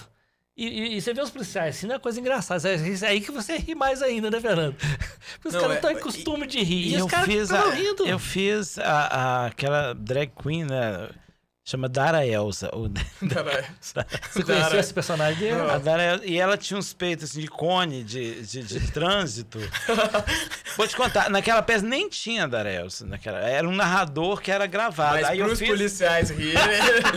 eu fiz a Dara Elsa ao vivo, narrando. Nem, É, a turma tá assim, ah, me dá o telefone do Fernando, pode deixar que e eu vou nessa passar. peça veríssimo. você não passou pra ninguém, velho. Passei, não? Meu Deus. Aí eu podia ter feito Ah, várias não, porque aquele, apresentações. aquele- aquele seminário, na verdade, foi o primeiro de contagem, né? É. O primeiro seminário que nós fizemos em contagem. Aí depois fizeram outros seminários, eu já tinha saído de contagem Ah, também. por isso. né? No, no- no- aquela preparação toda que nós tivemos o carinho de fazer, às vezes não tiveram, então perderam espaço. Perdeu. Vou Né- cobrar as fotos desse evento de novo de você. Nessa Oxe. peça o vi- o veríssimo tá Tem as fotos afiadíssimo lá assim. guardadas, tem que achar, hein? E sabe o que que é o legal? Tipo assim, eu acho que é, fazer comédia e, e vai te dando, não ter medo do ridículo muitas vezes, sabe? A gente se põe em cada situação e Veríssimo mostra essa barriga dele, sacode, ele rola no chão. É muito bom, assim, é muito legal. é- Esse, ele me põe em cada situação em cena que, assim, é, é, é triste. E mais engraçado. Engraçado, é. A Mas gente é bem nome da outro também, comédia. assim, sabe? Essa, a gente vai aprendendo a se... É, não, tem que ser. Tem que... A, gente, a gente não pode ter essa. é, uma vez eu trabalhei com um ator que. ele- Gente, não sei, acho que eu nunca te contei isso. O ator reclamou porque ele tinha que dar um tempo na fala e o pessoal riu e não deixou ele dar fala. Eu falei. Como assim você está reclamando que o povo está rindo? Você tem que agradecer. Não, mas é porque atrapalhou minha fala. Eu sempre fui avacalhado. Uma vez eu fui fazer a Cinderela e aí tinham dois papéis, o príncipe e o rato. Aí eles me colocaram pra fazer o príncipe. Mas era tão chato que o príncipe ficava lá todo posudo, assim, não sei. Eu fiz de tudo até eles me mudarem pro rato. Porque você pensa, um rato ele já entrava pela plateia e dando susto nas pessoas. Ele pegava na, na perna das mães das crianças. Assim, então é muito mais legal, assim, sabe? E assim, Se tivesse alguma sombrinha. quando É. você rompe essa coisa do, da- do tá bonito em cena também, é Aham. muito legal, assim, né? Eu gosto mais de estar estrupiado, estar. Entende? Isso, isso Você me. fica mais à vontade também, muito né? mais. Isso me É. deixa muito mais realizado do que essa coisa, tipo, posada e. Ah, como souber. Sabe? Tipo assim. Não, e trabalhar, igual eu tô falando, trabalhar com uma pessoa que você tem esse entendimento, um amigo, né, na vida, é muito bom. Quem ensina, às vezes, você entende a- a certas coisas que. Até alguma coisa que não era para acontecer, você já. Um olhar que você dá, você já fala, sabe? Já tem um entendimento. Porque é muito ruim quando o ator não tem aquele entendimento em cena e, e acontece Dá alguma muita coisa. briga entre os atores? É só Acontece. nós dois, né? Nesse, no- a gente dá umas arranca-rabo. Mas esse meu é, tem um não, ponto- é mais como produção do É, que, com, do que como como, ator. como ator. a gente não, não Mas tem, Veríssimo não e tem problema. Temos também uma coisa que é tipo assim: às vezes a gente dá uns arranca-rabo, passou duas horas, nós já tão bom com o outro. Ninguém acredita quando a gente conta que a gente dá capaz. Isso é, é, a gente dá assim, mas. É, mas como ator não. Como assim, ator a gente nunca tem. Ele é legal, E mas quando ele é esquece chato a- Como é que, como é que diz O né, o texto? roteiro ali, né? Acho que nunca aconteceu. Já, já. aconteceu? Uma vez eu esqueci o texto. É. E aí, o problema é quando você esquece, você tem certeza que você tá certo, né? Ah, sim.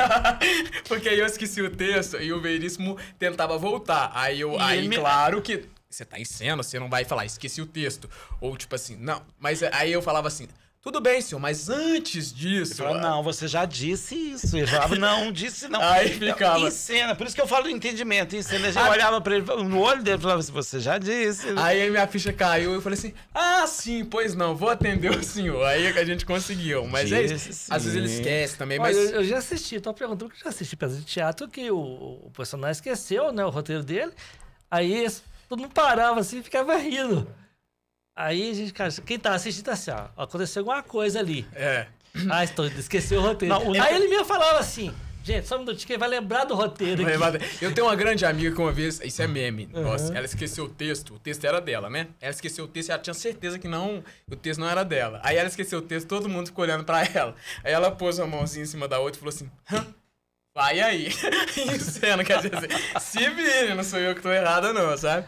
Mas tem, graças a Deus, a gente nunca é, teve um branco, uma coisa que, tipo, Não. paralisou ou que a gente teve que externalizar isso pro público. Não, gente, era- desculpa, vamos Nesse recomeçar. ponto, a comédia é melhor ou pior pra retomar o texto quando você É melhor. Eu acho que melhor, porque é o que eu tô dizendo. Do Você que um pode, drama, você faz exemplo. graça, né? Não, um Gira drama, partido. assim, eu tenho, assim, é, eu dou sempre, eu sempre conto um, um drama que eu fazia, um drama de Nelson Rodrigues, que era uma cena, e assim, a, a peça é tensa, e essa era a cena mais tensa da peça, e que a, a, a menina tinha que levar o dedo na cara do cara, falou, escuta aqui, seu filho da puta. Só que ele falou, ela falou, escuta aqui, e trupicou. E assim, ela caiu com o joelho no chão e levantou. Ah, eu em cena que não deu vontade de rir, mas eu segurei, todo mundo segurando pra não rir daquilo, entendeu?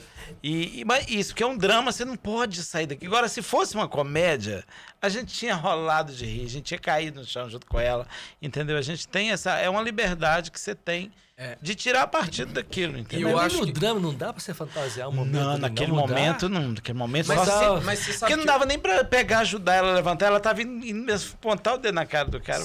Sim, mas ao mesmo tempo eu acho que Joelhou tem que rezar. Ajoelho, tem que rezar.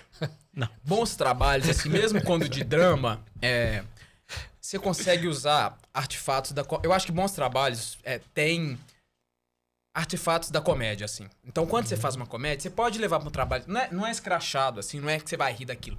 Mas você consegue levar, é, talvez, uma. da- fazer gráfico, assim, sabe? Porque uma.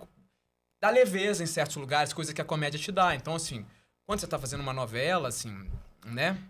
Às vezes um tom que você vai dar, tipo assim, um tom. Não é rir, mas um tom bem humorado pra uma fala que naturalmente, à primeira vista, parecia uma coisa sisuda, séria, te coloca num outro lugar, talvez menos ah, previsível. Acho que fazer comédia te dá esse lugar de. Ah, aqui. Ah, aqui cabe uma, um- uma graciosidade, talvez, vamos falar assim, né? Eu consigo levar pra esse trabalho dramático aqui uma leveza nesse lugar. Então acho que fazer comédia é isso, assim. Quando eu fui fazer Poliana Moça no SBT, é, eu fazia um carcereiro. Naturalmente, é, o que, que você pensa de um carcereiro? Um cara sisudo, fechado, sério, né? Pá, pá, pá. Mas era o... Aí eu pensei assim, primeiro, é uma novela infantil, né? Juvenil e tal. Eu não vou ficar fazendo um cara, tipo assim, só mal, ah, não sei o quê. Não é isso, né? Então, e aí eu dei sorte de cair, porque isso também faz diferença. Quando você cai com um ator que joga, né? Eu caí com um cara que me deu super espaço. Então a gente fazia um jogo de cena que eu consegui eh, ter bom humor com ele, assim. Mesmo uma situação de ele preso é o carcereiro, né?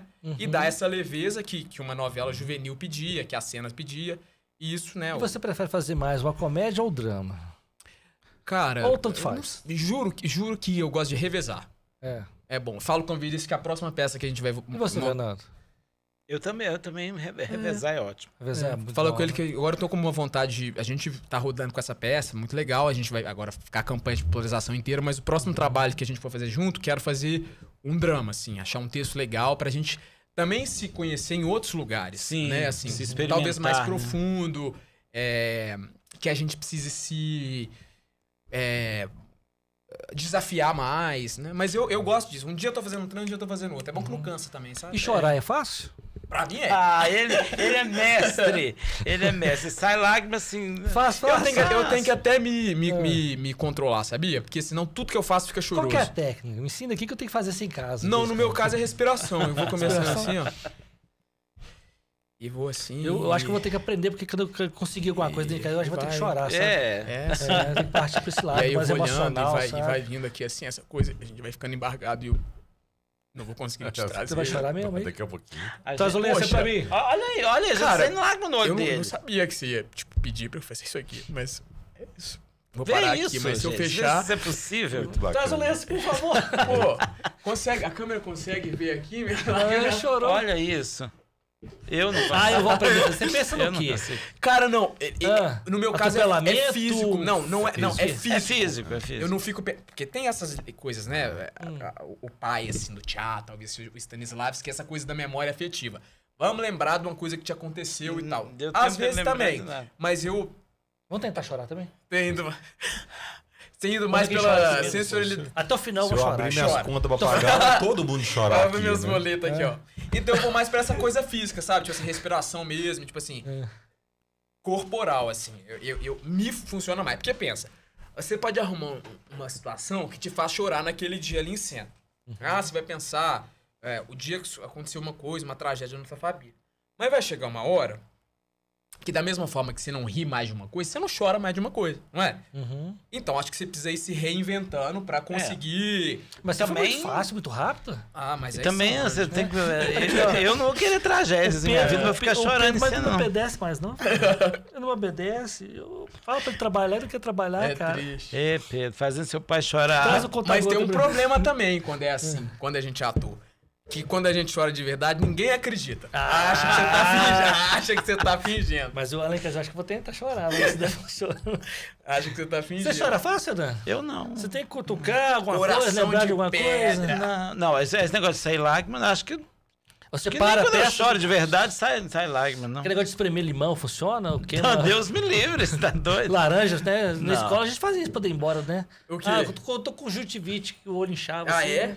Ah, Já fez nunca isso? Fiz, não. Não, Não, não vá se expor aqui. Um negócio, aluno sério, dedicado. Crianças, não façam isso em casa. Primeiro da fila. É isso aí. Para casa sempre em dia. Sempre foi um aluno O cachorro nunca comeu para cá. Não, essas coisas Isso é não aconteceram representar, ó. comigo. Isso é representar, Não tá aconteceu comigo. A gente Tá tá, naturalista, acreditando. tá- Nós tá- estamos tá, acreditando aqui. Fala sério. Me diga uma coisa aqui. Vocês têm algum sonho de fazer alguma peça internacional? Fora do Brasil? Sim, claro. Né? É difícil. gente- Ó, tem as dificuldades. Quando você fala assim, pe- pensar. o Uhum. Já projeto essa, não é. essa peça de vocês pra fora? Não, comédia é um pouco complicado. Às vezes o que a pessoa morre de rir aqui em Belo Horizonte, você vai ali no Vespasiano, as pessoas já não acham graça. Entendeu? É, aí então você A gente come- fez ela no Rio, né, Veríssimo? Era É. assim, tinha umas piadas que era garantido. A gente você foi tão longe, falava assim, Vespasiano? Você foi tão longe, cara. Não é? Não, precisa não, tô Mas falando é assim pra, pra explicar isso mesmo, pra é explicar. aberto assim já é diferente. Uma comédia que é um sucesso no Rio de Janeiro, chega aqui e ninguém acha graça. A entendeu? gente, quando foi pro Rio, tem umas piadas que assim, cê- a gente- você sabe mapear a peça. É. Então fala assim, ah, se esse início não for bom, ok. Quando chegar aqui, tem uma piada que é certeira. E no Rio, cara, eles puxaram o nosso tapete tanto, porque coisas que a gente tinha certeza que o público ia rir, eles ficavam assim. E coisas que o pessoal aqui nunca ria, era, ah, é um tiro. Aí, mas isso é bom também, porque tipo, te desmonta, né? Te, ó, s- Tirou você daquela estrutura é, é, que você tá acostumado, né? Você fica você mais atento, assim, pra ver o que, que vai acontecer, né? Porque tem um negócio diferente ali. Por isso que, assim, o tanto que a gente admira o, o Espírito Baixou em Mim é por causa disso. O Espírito Baixou em Mim é um sucesso no Brasil inteiro. Rodou esse Brasil todo. Então, onde vai é, é risada garantida. É. Olha, então, E- e- esse é Eu- um eu sonho. falar, tem umas coisas que assim, batem na cabeça da gente que a gente grava, né? É, é tipo aquela do, do- do- do- do- dos espartanos, né? Ah, nós vamos lutar com quantos? 300 mil. Ô, Leônidas, você não tá bebendo, não? Não sei o que, que, que fala lá e tal. Começa a fazer aquela piada, que aquela coisa fica... É tão engraçada a coisa. Sim. Que você, é assim, dá, eu acho que dá, dá cinco minutos de, de, de, de videozinho que você pega ali, mas você fica rindo. Mas essa é a todo. dificuldade, quando alguém fala que é mais difícil fazer comédia, essa é a dificuldade da comédia. Às vezes o que um ri, o outro não ri. Você nu- nunca é garantido, assim. Se você não tem pessoas que estão lá dispostas a, a fazer, acompanhar a risada tem coisas assim, é o que nós estávamos falando da piada do Costinha, por exemplo. Ele contava engraçado, mas as piadas dele não tem graça, entendeu? Na nossa peça, eu acho que a gente. A, a maior graça tá no reconhecimento do público. Porque assim, eu faço um funcionário público e aí o Veríssimo é dado como morto pelo sistema, né? E aí um dia ele acorda, ele tá sem os documentos dele, os cartões de banco não funcionam mais, Nada e ele fala assim: funciona. peraí, o que, que é isso? E aí ele vai nessa repartição pública onde eu sou funcionário público pra conseguir resolver. E aí quando chega lá, as situações são mais hilárias, assim, ele tá lá comigo na frente dele, mas ele tem que ligar pra pedir uma senha. Aí ele liga ao meu telefone que toca. Aí, tipo assim, tem que entrar na fila sendo que só tá ele. Então, as pessoas se reconhecem, sabe? Tipo assim, lembra de uma vez que você perdeu sua identidade, teve que refazer e foi aquela dificuldade, sabe? Então, acho que tá nesse lugar do É, reconhecimento. a com o gente público. faz. É, rir de uma situação que é muito dramática dentro é. do Brasil, assim. É, é- essa coisa, certas coisas parecem absurdas na peça, mas são realidade. Isso aí de, de- eu vivi isso, de chegar num lugar, enfrentar uma fila, pra mulher falar assim, não, aqui você tem, para fazer isso você tem que ligar. Minha filha, mas eu, tô eu aqui, tô né? aqui, você Resolve. tá aí. É, né, não vou nem falar o nome da empresa, mas era de telefonia móvel. eu estou aqui, você está aí, resolve isso pra mim. Não, você tem que ligar. Eu falei, mas eu, eu em casa eu liguei, eles falaram que eu tinha que vir aqui. E assim. Uma, uma empresa de telefonia móvel, depois até com calma, eu conto pra história pra vocês, que é da internet dessa sala, que é, é algo assim absurdo. Conte pra gente pôr na É, peça. Não, eu vou contar pra vocês. é, não vou contar agora, porque, obviamente, não. E outra é, coisa, demanda tempo. no- Mas é absurdo. Mas é, uma empresa de telefone, por exemplo, e já tem algum tempo, né? É, deu, é, deu, deu pe- pedir pra loja. Olha, então faz o seguinte: eu tava com a perna operada, né? Ixi. Me dá o telefone da loja que eu vou ligar pra saber se chegou o aparelho. Aí a moça falou assim: não, a nossa loja não tem número de telefone. Eu disse, minha filha, vocês vendem telefone? Você não tem um número que eu possa ligar. Mas é o problema da também. digitalização das coisas, né? Coisa que mais me faz raiva Agora, hoje mais dia é não ter um número pra você ligar e mim, falar. A pior foi no. Detran. Essa eu nunca mais esqueço. Que eu fui no Detran é, e eu tava com uma ocorrência da polícia. Tava com uma ocorrência da polícia, original, né? E eu cheguei lá pra dar entrada, não sei o quê. E a, o- a pessoa do guichê falou assim: não, senhor, eu quero a cópia Xerox. Eu disse, minha filha, tô com a original, eu vou te entregar a original. não, eu preciso da cópia Xerox. Disse, mas Fica com a minha original, eu com te original, dou. Não, eu não posso aceitar, porque eu só posso aceitar a Xerox. Aí olhei E assim, onde meu Deus do céu, onde é que eu tô, né? Não é? É, Mas é o Brasil, assim- nesse ponto, o Brasil é um- uma Não, mina tem de... coisa de- que parece absurda na peça, mas que é verdade. A Luísa Sonza foi dada como morta uma vez. Ela chegou no, no aeroporto, não foi? Ela Foi. dado- Aí, vira e mexe, veríssimo meu, fica trocando. A gente fica trocando post de Instagram. Que, que tem um professor meu que é o Fernando Limoeiro, lá da UFMG, que ele fala assim: há muito tempo a realidade já ultrapassou a ficção. É isso, às vezes acontecem umas coisas, você acha que, na- que aquilo é só ficção. Não, já tem isso na vida real há muito tempo. outra, quando então a a gente gente- fica trocando meme e fala assim, viu? O gente que acontece na peça é meme. verdade. É eu, achei que campeão era, de eu trocar achei meme. que era só o Fernando que toma café e ter com atestado de óbito do lado. Oi? Eu achei que é só o Fernando que consegue tomar café com atestado de óbito do lado. Não, isso é mais comum do que de você imagina. Tem- inclusive é o tema da peça. É o tema da peça. Qual é o problema que eu enfrento na Problema peça? central, Viz, resume. Não, vamos falar daqui a pouco da lá Daqui a Ah, pouco. não, pouco. mas eu queria dizer o. o, o- Ah, esqueci o que eu ia dizer. Pronto, é, porque não é pra falar. Exatamente, tá vendo? Não, é que o. o- E quando você deixa o, o espectador assim, que tá assistindo a peça, ela é meio triste? Triste? Por que É. triste? Você deixa triste. É, pô, emoção, é um jogo de emoção, não é? Na comédia, deixar alguém Não, triste é um drama, pecado drama, mortal. No drama, no drama, vamos pro drama. Acontece. Vezes. Não, o que eu tava querendo dizer é o seguinte: a questão do, do espetáculo, de ter coisas absurdas que. Eu, quando a gente estava ensaiando, tinha coisas no texto que o, o Lucas e o Wilvio Amaral falavam: não, gente, isso aqui não, não vamos cortar, isso que é muito absurdo. E eu, por ser funcionário público também, tinha eu falava: gente, pode deixar, porque Pode isso deixar. acontece. Pode acreditar. Não, mas ninguém faz isso aqui, não. Não mexe com o funcionário Faz. não. Não, mas a, a gente. É, a- é um o espetáculo é importante. uma grande homenagem aos funcionários públicos. Porque a gente fala, fica parecendo que o problema é só do cara, mas os funcionários públicos, eles obedecem um sistema que está Claro. travado. Essa coisa da original do Xerox não é a mulher que tá ali, não é a funcionária Claro, pública que é tá ali. nada. É, que é má regra, vontade é- dela. é uma regra. aquilo tá. É, é É sistematizado. É isso que ela tem que seguir. É isso. É uma grande homenagem aos funcionários Mas ela não públicos soube do talvez explicar pra ele isso aí. É, Né? é, Às vezes que falta é Não, exatamente a- isso. a questão Olha, senhor, é- eu não posso receber o seu original, mas o Xerox eu posso. Não, ela pediu o diferente. Xerox. É, ela é. pediu o Xerox. Ela, Diferente. e ela Não, tinha uma máquina de Mas Xerox a regra atrás. é essa, ela E não eu pedi pode. pra ela tirar o Xerox. Mas ela não Ela não pode, pode sair entendeu? disso. É É, claro que exatamente, eu concordo com você. é- É, é uma o homenagem ao funcionário o público. povo. o Como todo lugar Tanto- tem um bom e um mau profissional. E isso acontece também no funcionalismo público. Não tá exime, né? Claro. Isso não tá, não tá. Vai acontecer também. Só que é isso, assim, a, a grande maioria tá ali seguindo um negócio completamente é, Mas o- retrógrado, mas o que não brasileiro- evolui, né? E o ele tá ali. brasileiro, acho que nós, de uma certa forma, como sociedade, nós carregamos uma imagem do funcionário público estereotipada. Estereotipada, E é. o Nelson Rodrigues talvez seja um, um dos, é, dos provocadores dessa, dessa, dessa estereotipi- estereotipização do, do, do funcionário público. Que é aquele cara que chega, no, coloca o paletó aqui, vai embora e tá trabalhando. Engomadinho, E todo- né? Engomadinho, que deixou o paletó, eh, sumiu, não apareceu, só recebe no final do mês. E não é verdade. Né? Não é Não verdade. é. Nós temos hoje muitos funcionários Por isso que eu falo. que trabalham duro, dão o seu sangue ali. Sim, Claro, a maioria, claro. para a maioria verdade. faz isso. A maioria. né? Agora, o. o não- imagem Muitas não é vezes essa. em condições, Não é assim, não tão legais também, né? É, Porque não às tem vezes. condições. a- a- o, o pessoal da prefeitura de BH mesmo agora pode. tava reivindicando algumas coisas, né? Assim, que o salário fica defasado. E, então, assim, os funcionários públicos são muito importantes, inclusive, Claro. para a engrenagem do país. Eu né? quero, Então, eu, então, eu, eu sempre convido todos os- os funcionários públicos para assistir esse espetáculo, porque aparentemente é, é uma crítica ao funcionário público, mas não.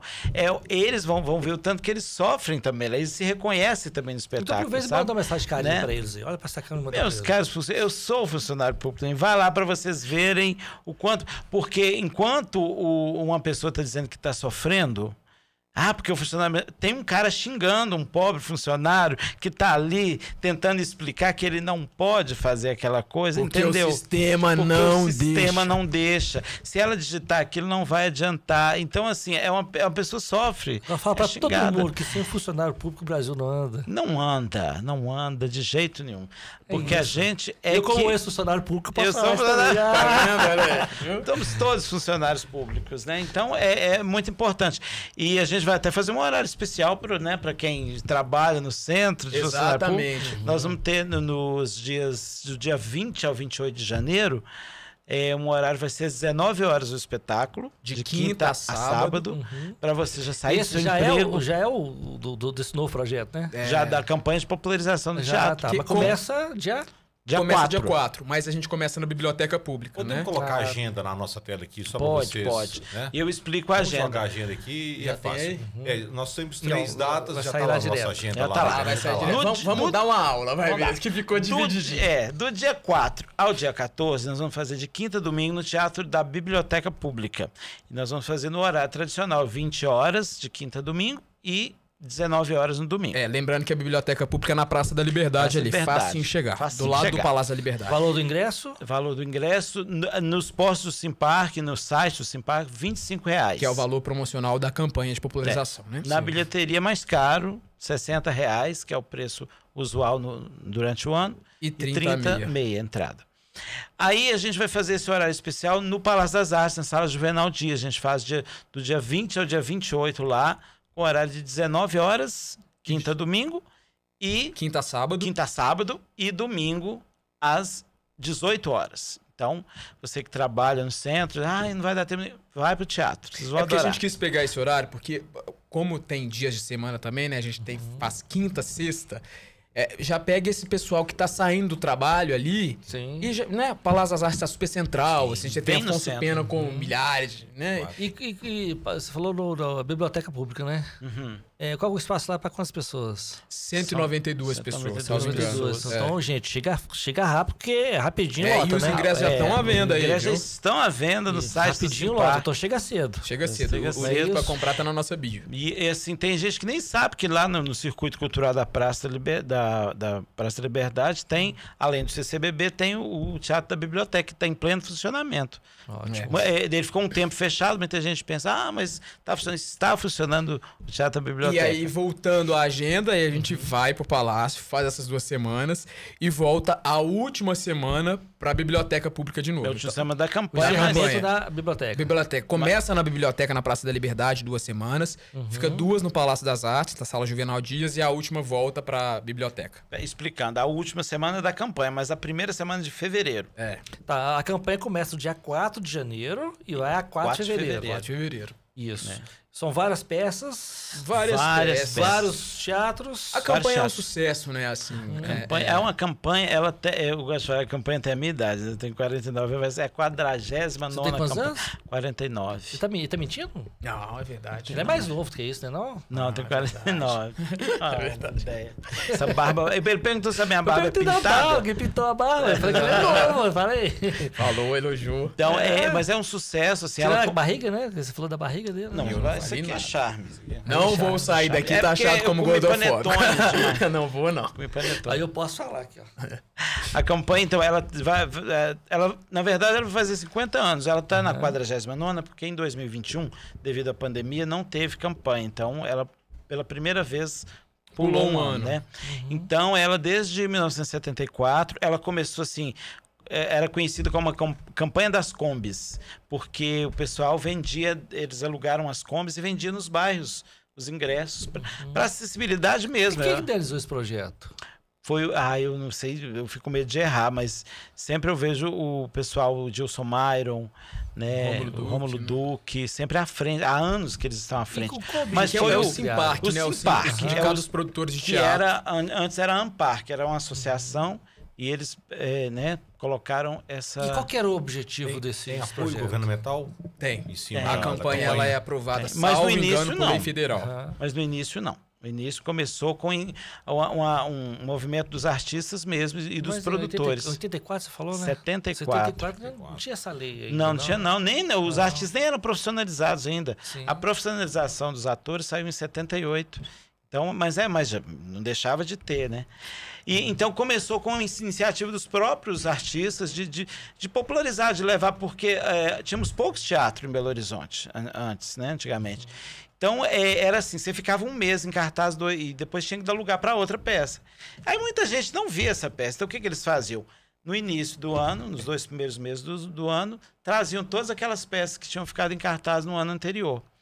Com o sucesso de alguns espetáculos, aí, aí começou a mudar as regras aos poucos. Aí não é mais só as peças que estavam ano- no ano, ano passado. Começou a ter várias peças, tipo o Espírito Baixou em Mim está há 25 anos em cartaz. E como não colocar o Espírito Baixou em Mim na campanha de popularização, né? O mais legal da campanha é que ela já é tão conhecida, assim, que as pessoas já sabem que janeiro, fevereiro é mês de teatro em BH. E tem pessoas que só vão ao teatro na campanha. É uma atração turística, as pessoas que vêm para cá, já, já os parentes já falam, nós vamos assistir as peças. Tem gente que compra para o mês inteiro já, já garante os ingressos. Vocês podem fazer isso também, viu?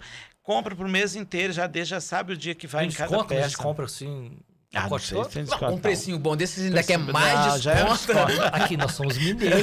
Mineiro Não, pede desconto. vai né? pechinchar, vai pechinchar com outra Mineiro pessoa. pede desconto. Mas olha, gente. mas É a maior campanha de popularização do país. Tá. Aham. O, o lugar de venda, é, só pra gente reforçar aqui, Sim. o Simpark tem alguns postos, né? Eu acho que esse ano deve ter de novo, geralmente eles estão deixam um carro ah, no Pátio Savassi, acho que tem, no estacionamento do Shopping Cidade, fica, então você pode ir lá e comprar o ingresso físico e também no site valteatromg.com.br. Na nossa no na bio do nosso Instagram já tá o link lá pra comprar. Já Você vai te- direto para nossa já página. vai direto para nossa página, né?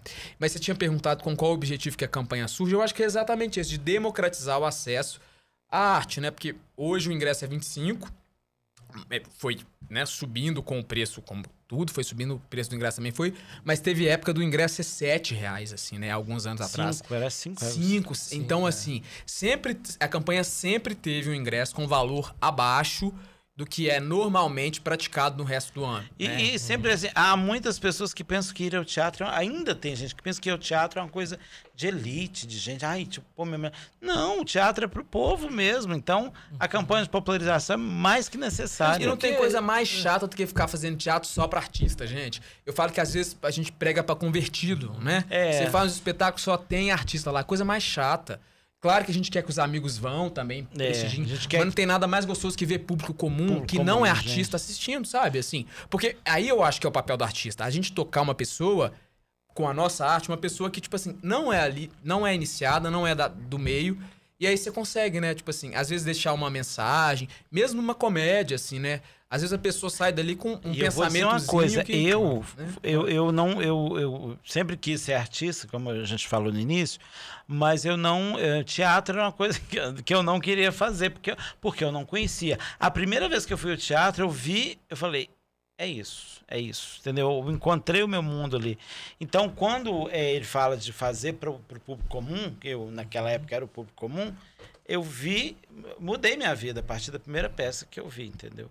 Então tem isso também. Às vezes você forma novos artistas. Eu queria falar desse projeto, mas eu, eu vou ler aqui uma pergunta aqui do, do, do, do Pedro.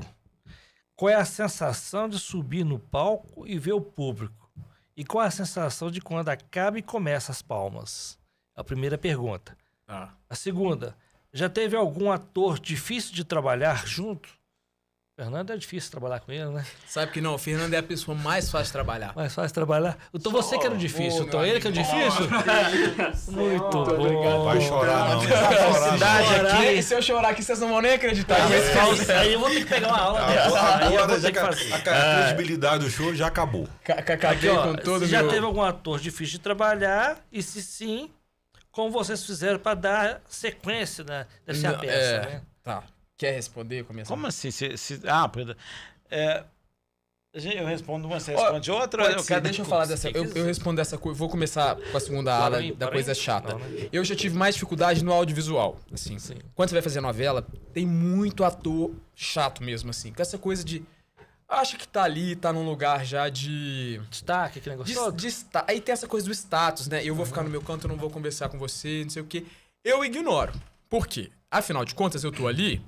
Não é pra fazer amizade com ele, é pra fazer um trabalho. E assim como ele é profissional e é ator, eu também sou. Então eu jogo o jogo dele. É gente boa, é simpático, você vai encontrar essa pessoa Um aqui. camarim diferente às vezes? Não, camarim igual, mas fica, fica no canto, assim, isolado, entendeu? E além de. É que isso aí ainda vai, né? A pessoa quer ficar resguardadinha ali, quietinha. Mas tem ator chato Ele mesmo, tá assim. concentrando ali na É, cada um tem um processo, né? Mas tem ator chato mesmo, assim, que, que aí você ignora, assim, eu. Entendeu? Não dou, não dou palanque pra doido, não. Houve uma época, quando aquele Sai de Baixo estava no auge, e ali eles, é, eles. Eles faziam muito assim, de fingir que esqueceram um texto, ou fingir que erraram, e ficar rindo. E virou uma moda, pelo menos aqui em Belo Horizonte, dos atores eram fingindo que erravam um texto. Eu não gostava muito disso, não. Tipo assim, gente, vamos fazer a peça. Dá vontade de falar quem pagou pra rir foram eles, né? Nós não.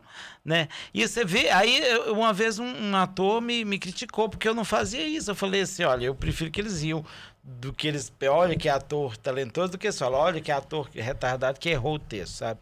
É, é, mas assim, eu nunca tive dificuldade com um ator. Mas essa época eu não gostava, era, era difícil. Todo mundo fingindo que você via que tava fingindo que tava rindo, você ficava assim. Eu, né? Aí talvez o chato fosse eu nessa época, já que todo mundo fazia, talvez o chato da história fosse eu. Ó, o o Arlen mandou falar Agora, que você é um ótimo ator e diretor, viu? Olha aí. Ah, Respondendo é a primeira pergunta da- daí, a, pra mim a Beijo, sensação de subir no palco é, é maravilhosa. Acho que me alimenta, assim. Fazer audiovisual é muito gostoso. Mas é, é frio, né? Porque, por exemplo, você não tem o retorno do público na hora, né? Seja um filme, seja uma novela, ligou a câmera, você fez. Às vezes você tem a troca com um ator que é legal, te dá um, um lugar de. Ah, já sai satisfeito aqui. Mas o palco é mágico, né? O fato de subir, e aí, claro, até pegando a pergunta dele, a- a- finalizar, né? Os aplausos, assim, acho que é uma resposta direta. é, do reconhecimento do público, talvez, de como. da fruição dele com a peça, Ô, que ele Lucas, curtiu, quando você sobe no palco, você olha pro público? Você procura alguém no público? Não, Depende da peça. Você entra assim, você já está concentrado na peça, você quer fazer aquele trabalho bacana, mas você procura o público, você procura alguém conhecido da plateia ali? É, muitas vezes a luz na, na nossa cara é prática, sendo prática. a luz Não, na nossa a cara maioria é das tanta vezes a gente não vê que ninguém. você, não enx- você enxerga a primeira, segunda fileira, você consegue ver um, um esboço do que tá ali, porque imagina, a plateia toda escura e, o- e tu- tudo que é refletor na sua cara. Então você não tem muito esse contato, assim. A nossa peça em especial, você não tem cena de plateia, que é. Que, que muitas vezes tá acontecendo. Acende a luz da plateia, por favor. Aí você vai, passeia pela plateia e mexe com um, mexe com o outro. Então nossa peça não tem isso. Então a gente não consegue ver muito o público, não, no sentido de. Ah, fulano tá ali. Sabe que às vezes eu reconheço pela risada? A É. risada. Porque tem gente que tem risada, Risada. marcante, né? Aí a pessoa riu e fala assim: será que o fulano tá aqui hoje? Aí você fica. Aí no final da peça. é, Às Aparece vezes a sim, risada. ou às vezes não, entendeu? Aham. E depende também do tipo da peça, né? Porque, por exemplo, tem peça que você contracena e dialoga diretamente com o público. O público é seu interlocutor direto. Um monólogo, por exemplo, muitas vezes eu tô ator, então assim, conversa, né? Assim, você tem o público como, como um, um- um ponto de atenção. No nosso caso, Veríssimo e eu estamos aqui o tempo todo, o jogo é nosso, É assim. nosso. Não tem muita A gente chama de quarta parede. é julgando como com o se público, né? tivesse uma parede na frente, então a gente do teatro a gente chama de quarta parede. Mas às vezes a gente quebra nessa. É, é. Às vezes a gente quebra essa quarta parede. Vocês já se sentiram intimidados no palco por alguém? Por algum... Ah, já. eu É, já. assim, tem, tem, Se chegar lá, puxa, Tem alguma coisa ali na plateia, alguém na plateia que me intimida? Isso já Hum, aconteceu eu não. vocês? Intimidado não, mas às vezes quando você não tá à vontade fazendo um trabalho, que tem isso também, às vezes você tá fazendo um espetáculo, uma coisa, ou você acha que você não tá bem em cena, ou você acha que aquele trabalho não tá legal. Eu acho que você fica um pouco. Você não tá pleno, assim, né? É, então você fica um pouco desconfortável Eu acho e que, intimidado. eu acho que se lugar, você é, deixa entrar esse tipo de vibe, você acaba fazendo mal trabalho. Tipo assim, hoje eu tenho que fazer muito importante porque meu amigo tá ali, eu preciso. Geralmente, você se quando você atola. vai chegar E assim, tem que fazer o seu é trabalho, personagem, né? É, é, Ah, se- mas se hoje, libertar dessa. hoje fulano tá aí, eu tô nervoso. Pois não é, o fica. Fernando Montenegro tá não aí no, no, no, no, no- Não me contem. vocês. Você vê, não, E aí?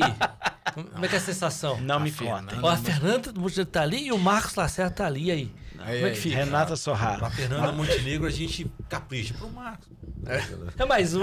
Renata, tinha um amigo meu que ele costumava falar, quando o teatro estava bem cheio, ele falava, gente, queria agradecer eh, essa presença, essa mulher maravilhosa que veio nos ver, Renata Sorrar.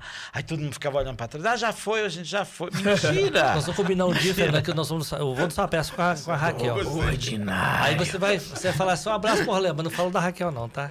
Ah, Ela vai- um abraço depois. pro Orleans, tá aí na plateia. Então, valeu, Orlando, tá? Da Raquel. Eu, eu, Valeu, fico meio, eu fico meio A Raquel não assim. veio hoje, não? Raquel não veio hoje, não. Eu fico A- meio. a Quem é assim? A Caete que no final da Cadê peça aquela dela loura faz que uma você coisa... veio outra Pô, trocou já? Trocou? No final da peça da Caete, ela faz uma coisa super legal, que é assim... Gente, queria dizer agora que eu tô muito feliz. Comecei a trabalhar na empresa do, do Silvio Santos. Fui Sou finalmente nova contra- contratada. nova contratada da empresa Silvio Santos, não sei o quê. Aí todo mundo acha que ela vai pro SBT, né? E ela fala assim... Eu sou revendedora Jequiti. Quebra a expectativa, assim, sabe? Pois é. Show. Agora vamos falar do projeto. Pode falar do projeto antes? Qual projeto? Desse novo projeto? Que novo projeto? A peça, doido. Ah, eu acho que não quer falar, não. Ah, é Eu- novo? Eu, tô achando que. Ó, peraí, então eu tô perdido também. É novo ou já tá que mais novo ou menos? projeto? Não é projeto, não? Você tá falando da campanha de Ah, popularização. da campanha da popularização? É. Mas tem um negócio de, de, de uma peça bacana aí. Como é que é essa peça? Pode Tô falar? sabendo. Pode falar, Pode pode falar. Fala, Ô, Lucas, vamos fechar a porta aqui. Vamos falar. aqui, ó. fala aí. Fala. E aí? Como é que foi que surgiu essa ideia desse projeto? Dessa peça? Nossa peça, Nossa, dele. ah, o, o- como vencer a burocracia. Olha, eu tô perdido. Bom, surgiu em Ah. 2019. Foi 2019? Não, isso no- em 2019 a gente É, começou 2019. a querer, que a gente conversava muito Uhum. sobre teatro e, e aí vamos montar uma peça junto. A gente precisa montar uma peça junto, né? Pra aproveitar isso. Aí o Lucas tem que ser uma comédia. E eu concordei, falei tanto que a gente ri. É, eu, que- tá eu um queria outro. essa oportunidade de fazer uma comédia com Veríssimo. Eu tava vindo de uma leva de trabalhos muito alternativos, barra dramáticos e tal. Eu falei assim, tô querendo fazer uma comédia pra exatamente dar uma mudada de ar, né? Aí, vamos fazer comédia, vamos procurar. Procurar texto é uma coisa tão difícil, parece que não, mas texto para dois atores. Nossa, se a gente lê um monte de texto, né? Muito texto. Aí veio uma coisa chamada 2020, a pandemia do coronavírus. Não podia sair de casa. Só que a gente já estava lendo, falou, "Ô, vamos parar? Não, vamos continuar procurando. Porque aí, quando passar essa pandemia, já não sabia, né? A, a- a- o lockdown era para ser só duas uma semanas. semana, duas. né? Aí não, vamos continuar. Aí foi uma coisa muito é, interessante, que foi um processo bem, bem diferente, assim. A gente leu. é, é, eu, eu falei que a gente tinha coisas que eu não acreditava e não sabia fazer, e junto. Lucas não deixou parar. Falou, não, vamos fazer. A gente lê online. Eu falei, credo, lê peça online, vamos ler online. E deu super certo. A gente pegava um texto, ó, consegui um texto novo, vamos ler, vamos ler. A gente lia pelas câmeras, até que a gente é, achou um texto legal e resolvemos montar. Chamamos o Yuri, Chama, aí o Wilvio Amaral, também na pandemia, assim, doido para trabalhar com alguma coisa. Vamos fazer depressa. E aí a gente começou a ler. Ah, fizemos alguns é, presenciais, né? Mas assim, era o Wilvio lá longe de de nós. máscara, De máscara. Ai, álcool em gel, vai tempos terríveis. gente. Aí a gente conseguiu ler algumas coisas. Aí, aí o Will falou: olha, eu tenho um, te um te Ele não gostou do, do texto que a gente levou para ele. Ele falou: olha, eu tenho esse texto aqui, que era o Como Vencer a Burocracia. Não era, né? Era um outro título. Era um outro título. Que inclusive chamavam Morto Duro de Morrer. Morto do de Só morrer. que a gente tava num momento Duro de matar. que morte, todo Morte dia. todo e quem queria dia, falar de morte da pandemia, né, gente? Uma comédia na pandemia falar de morte. Então a Já é ruim uma comédia chamar morto, né? Não ia dar legal, né? Não, é, E aí, ia ser na um época, tiro no, aí a no gente pé. tentou mudar e assim foi aos 46 do segundo tempo que apareceu o título. Como, Como vencer. vencer a A burocracia. gente bolou vários títulos, nada tive um título. Aí quando teve a reabertura, uma, uma reabertura dos teatros em novembro de 2020, a gente já estava com o espetáculo encaminhado. A gente falou, vamos marcar a estreia. Que com a estreia marcada aí não tem como ser. Já tava tudo pronto. Não, não, Não, tava. mas essa coisa de às vezes você precisa de uma data também, porque é assim, gente, a coisa nunca tá boa pro artista, né? É. Se, se você deixar sem ensaio, ensaio, Sai ensaio, você vê defeito. Então essa coisa da data muitas vezes é importante. A estreia é dia 3 de março. Ela Aconteça o que né? acontecer, Tem que eu tá tenho que entregar Ah, alguma ah, coisa e ali. Se não né? tiver pronto, você vai ensaiar até de madrugada É, pra a gente- ficar, é, entendeu? fez isso. Em novembro a gente já marcou uma data, né, a gente? Cine foi- Brasil.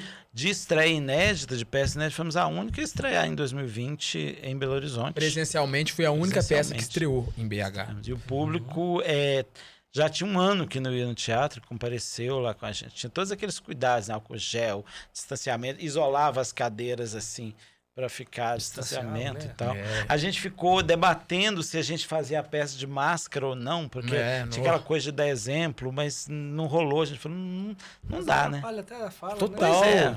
Não, e a gente decidiu, não era. Vamos fazer, a gente tomava as medidas, a gente Quem ficava viu o Lucas distanciado. chorar de massa? Pois é. Olha aí.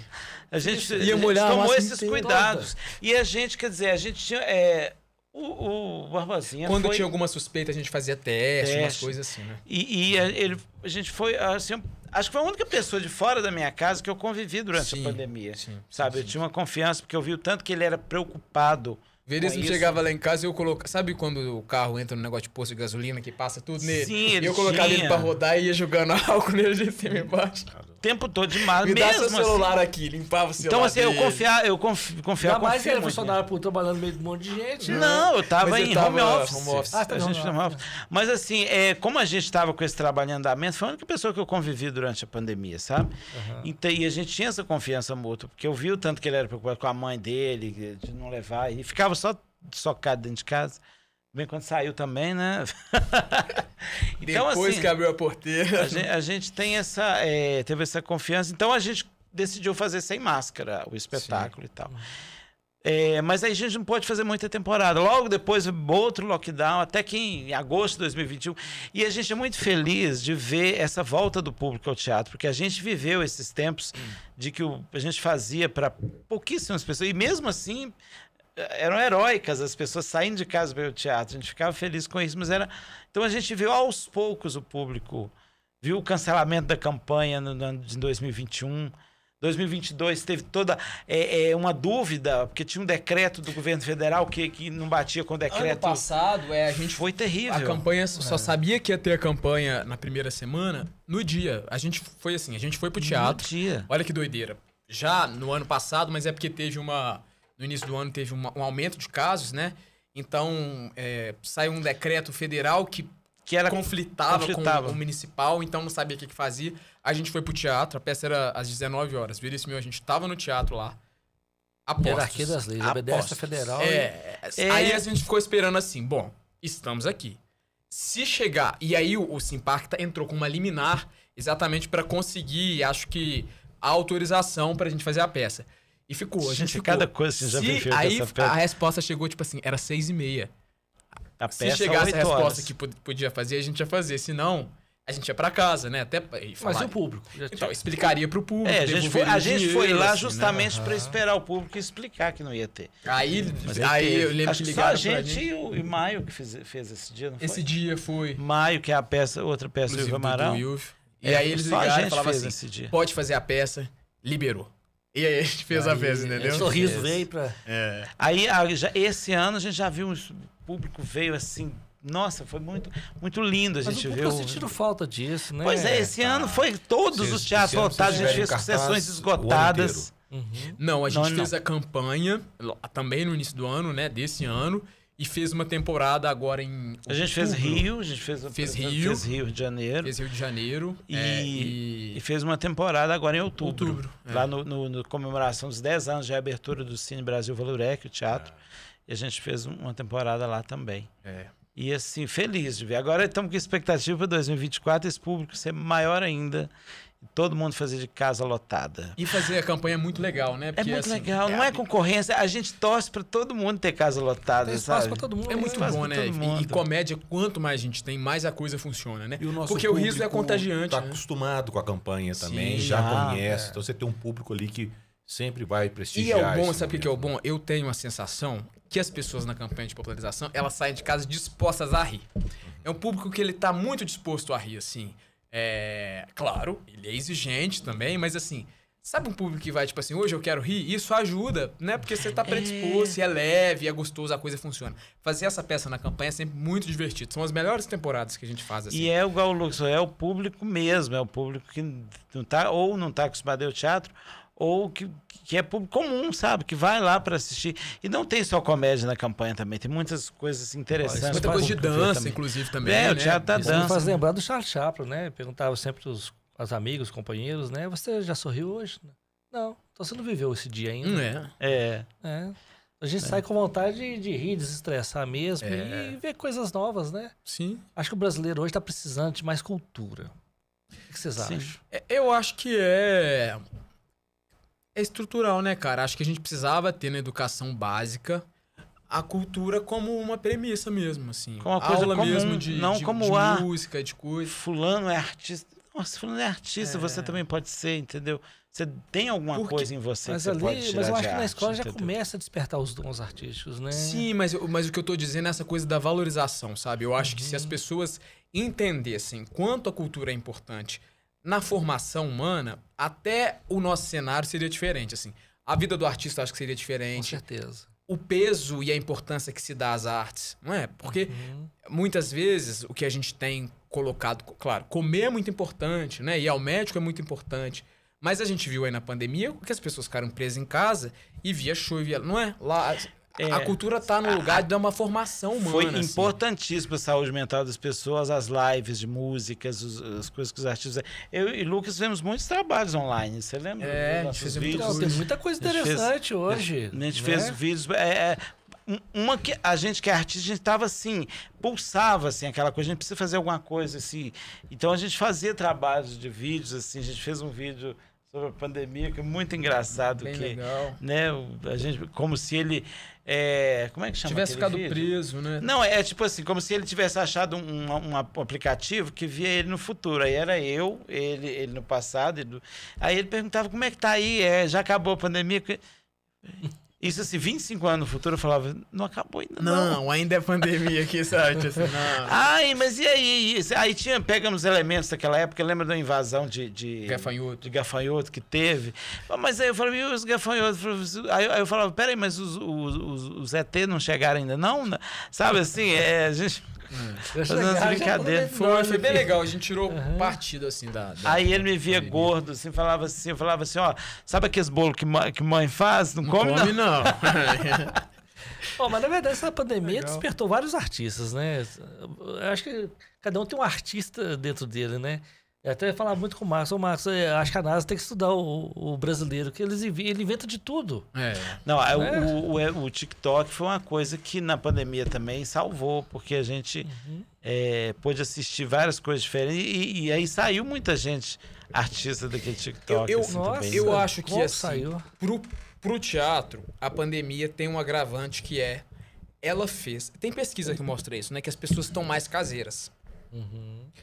Porque com essa coisa do streaming, né? é- Não, com é aplicativo de Netflix, comida, de pedir comida. Pede iFood, não é? É, Hoje você popularizou.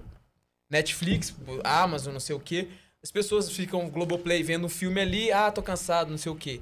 Já pede a comida ali Olha, eu mesmo. fiquei viciado em Netflix. Pois é, então. Dorama. Dorama. Não é? Tô lá o dia todo. Pois é, é, E umas televisão série- né, Fecharam também, As né? casas que fecharam, que não conseguiram se sustentar, né? Então, pra essa coisa do público, as pessoas. Pra, sabe, pra formação de público mesmo, eu acho que a pandemia deu uma desestabilizada. A gente tem que conseguir trazer as pessoas de volta pras casas de espetáculo. É, acho, eu, ve- eu Como é que tá sinto. o espaço Belo Horizonte eu hoje? sinto uma Nós temos queda. casas de é, algumas Temos. coisas novas aparecendo. Casos de espetáculo, Casos de temos espetáculo. várias, temos várias. Tem Isso não é problema, mas não é um gargalo. São todas Não. ativas? Não, ativas, não, então. não. Tem- O que Tipo, acontece? Quem que Não, tá é porque eu tô contigo lembrando de uma época que tinha assim, cinco, seis teatros disputando. A campanha que antigamente é- era assim, a gente tinha que fazer, tinha duas fases. A gente ficava tipo três semanas, aí depois você tinha que sair de cartaz para outras peças ocuparem aqueles teatros, entendeu? Não, BH hoje tem muitos Né? teatros, mas é isso que eu tô dizendo. Eu acho que a pandemia, claro, fechou algumas coisas. Tinha teatro Ah, que tá. foi fe- fechado, deu uma, uma, Teatro que uma que era, bagunçada. era e acho que depois da pandemia não tem surgido novas casas, assim, não, novos teatros. né? Eu não vejo surgir aqui em BH não, é, novos realmente. teatros. Mas E- ativar aquelas que já existiam também não. Cara, não, não tenho visto. Não, a gente, tá- o, o- a o Teatro da Biblioteca ficou um tempo fechado. A gente Mas, reativou mas, lá. mas ela tava muito É. da reforma, né? a gente Mas existem teatros aí que estão.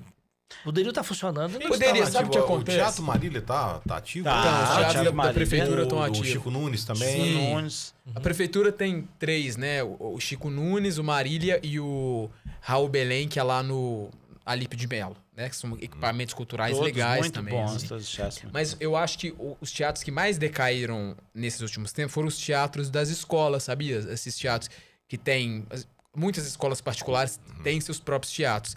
Esse você vai indo e você fica assim: caramba, esse teatro já foi tão legal. É, e tá meio. é muito ruim. Sabe um teatro que fechou? O Teatro Alterosa também, que Muito fechou. E é, meu coração dói, porque eu já vi tanta coisa. Poderosa, né? O teatro, o, o- Era ali na X Tobrian? É. X Tobrian. É, o próprio, na última temporada, chamava Oi Futuro, né? O Klaus Viana, no alto da Afonso Pena, É, que acho que o TJ também. comprou o prédio. Aquele teatro era Isso. incrível, né? Esse teatro era Mas maravilhoso. é isso, aí você não se sustenta, você vende o prédio.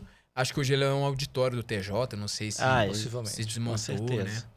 Mas é isso, então eu acho que a gente precisa arranjar formas de entender essa nova configuração e trazer o público de novo, despertar esse interesse, né? Eu, eu acho legal também des- descentralizar a cultura nesse sentido de que é, é, todo mundo vem pro centro para ver teatro, mas assim, a na periferia tem que ter teatro Muita coisa também. acontecendo. Tem né? que ter teatros e tem, tem muita, tem muitos centros culturais, mas estou falando de teatros mesmo, grandes teatros para pessoal O assistir interior de perto Minas da casa deles, bons locais no interior. Eu viajo muito com, com Velória Brasileira, que é uma peça do Ilvio também, né? É, direção do Ilvio, e o Ilvio tá em cena também. É, e, e tem de tudo, né? Muitas vezes a gente chega numa ci- cidades um pouco maiores, por exemplo, a gente foi agora pra Uberaba, tinha um lugar legal, mas você chega numa cidades que é nada, assim, a, a cidade não tem um teatro pra te receber. E a gente já fez em tudo que vocês pensarem. Em Lions Club da cidade, assim, se faz no Lions, é, Mas em, mas é em assim- quadra, né? Mas a gente se vira também, um porque nós não dado. vamos deixar de ir, porque Um não dado, tem, né? É, não tem o teatro, mas as pessoas comparecem para assistir. Sim. É isso que eu tô falando, de- da Claro. importância de você ter teatro. As Às pessoas querem ver. não tem um grupo de teatro, não tem nada, mas tem um espaço, né? É. Não é? Aí precisa ser ocupado. É, então, então, assim, tem cidade que tem, tem cidade que não tem também. Claro Uhum. que quando tem é tudo muito mais legal, né? Porque É. o, o, o- ambiente é propício, então o áudio, é, as pessoas te escutam melhor, a luz te favorece. É igual o melhor, Lobo né? Mal, escutam melhor. Mas é bom também melhor. você, você- Pro artista, acho que é bom você passar uns perrengues, ir pra uns lugares que não tem, mas ver Ah. aquelas pessoas que estão sedentas por. Sabe? Tipo assim. que- Fazer teatro, pra quem nunca viu teatro, gente, é mágico, assim, também, né? Crianças, assim. O Não, e- olhinho e esses brilhando. perrengues né? Ajudam na desperta os formação. sonhos também. Claro, Vocês claro.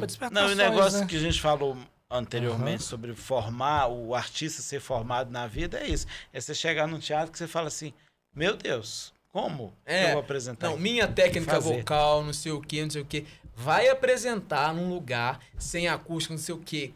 Entendeu? Com telha de amianto em dia de chuva. Com chuva. É cada co- coisa que você passa, você fala assim, vamos fazer acontecer aqui, né? É. ter que dar um jeito. Coisa que no Projac nunca ia acontecer, lá, É, lá vai né? acontecer. Aqui, ó, você, você emagreceu, Fernando? Eu? É? Não. Você acha que você Quem é emagreceu? que tá- tem alguém Ó, falando? o Léo Pita falou assim: o Fernando tá até mais magro. É. O Léo- Pinho que emagreceu. Eu tô aqui. Você sabe que toda vez que o Veríssimo chega lá em casa, eu falo que, assim. eu até achei que o Lucas Barbosa tava digitando alguma coisa. Porque toda vez que o Veríssimo chega lá em casa, eu falo assim: É. Olha, mãe, como o Veríssimo emagreceu. Independente se ele emagreceu ou não emagreceu, aí minha mãe fala assim: Nossa, é mesmo, Veríssimo. minha mãe sempre concorda que ele tá mais magro, não é, Ó, tem Veríssimo? uma pergunta aqui pra vocês aqui, ó, o que vocês acham do nosso querido Paulo Gustavo e a sua importância no cenário nacional? Eu acho que. Dois lados, né? O Paulo Gustavo era tão gênio que tem um problema. As pessoas tentam imitar e ele nunca fica tão bom quanto. Mas eu acho ele incrível. Acho super talentoso. Acho que deu pro país um lugar de. De que as pessoas podem ser bem-sucedidas com arte, com comédia, não é? O Paulo Gustavo é um exemplo de. Aí que eu tô falando também. Ele fez da arte dele um negócio, né? Fez muita grana. Além de toda essa questão da diversidade, né? Que era uma bandeira que ele levantava. Então, acho uma, uma puta perda, mas ao mesmo tempo, o cara conseguiu deixar um legado muito legal. Ele foi um meteoro na nossa cultura, É, assim, né? Não, o Paulo veio- Gustavo, eu acho que é, é o s- o sonho de todo artista, além daquele que a gente estava falando de televisão, é, é você. Ele criou uma. Como se diz? Ele é, ele é um exemplo de, de, de toda uma geração. Sabe, assim, é igual ele tá falando, as pessoas tentam imitar ele. As pessoas eh, se espelham nele, ele é o espelho de uma geração inteira, ele é, ele é o artista que todo mundo quer ser, entendeu? É fantástico. E isso é muito raro acontecer, muito raro. É, eu, eu vejo muito, por exemplo, no sertanejo, tem sempre para mim, é, na música sertaneja, tem sempre uma voz que é a voz guia de, de uma geração. Assim, todo cantor sertanejo no início dos anos 90 cantava igual Zezé de Camargo e Luciano. Depois veio os anos 2000, que, sabe aquele jeito do Zezé de Camargo? Depois veio o Bruno Marrone, todo mundo imita. Hoje em dia eu acho que é a Marília Mendonça, que todo mundo tenta fazer aquele tom dela, entendeu?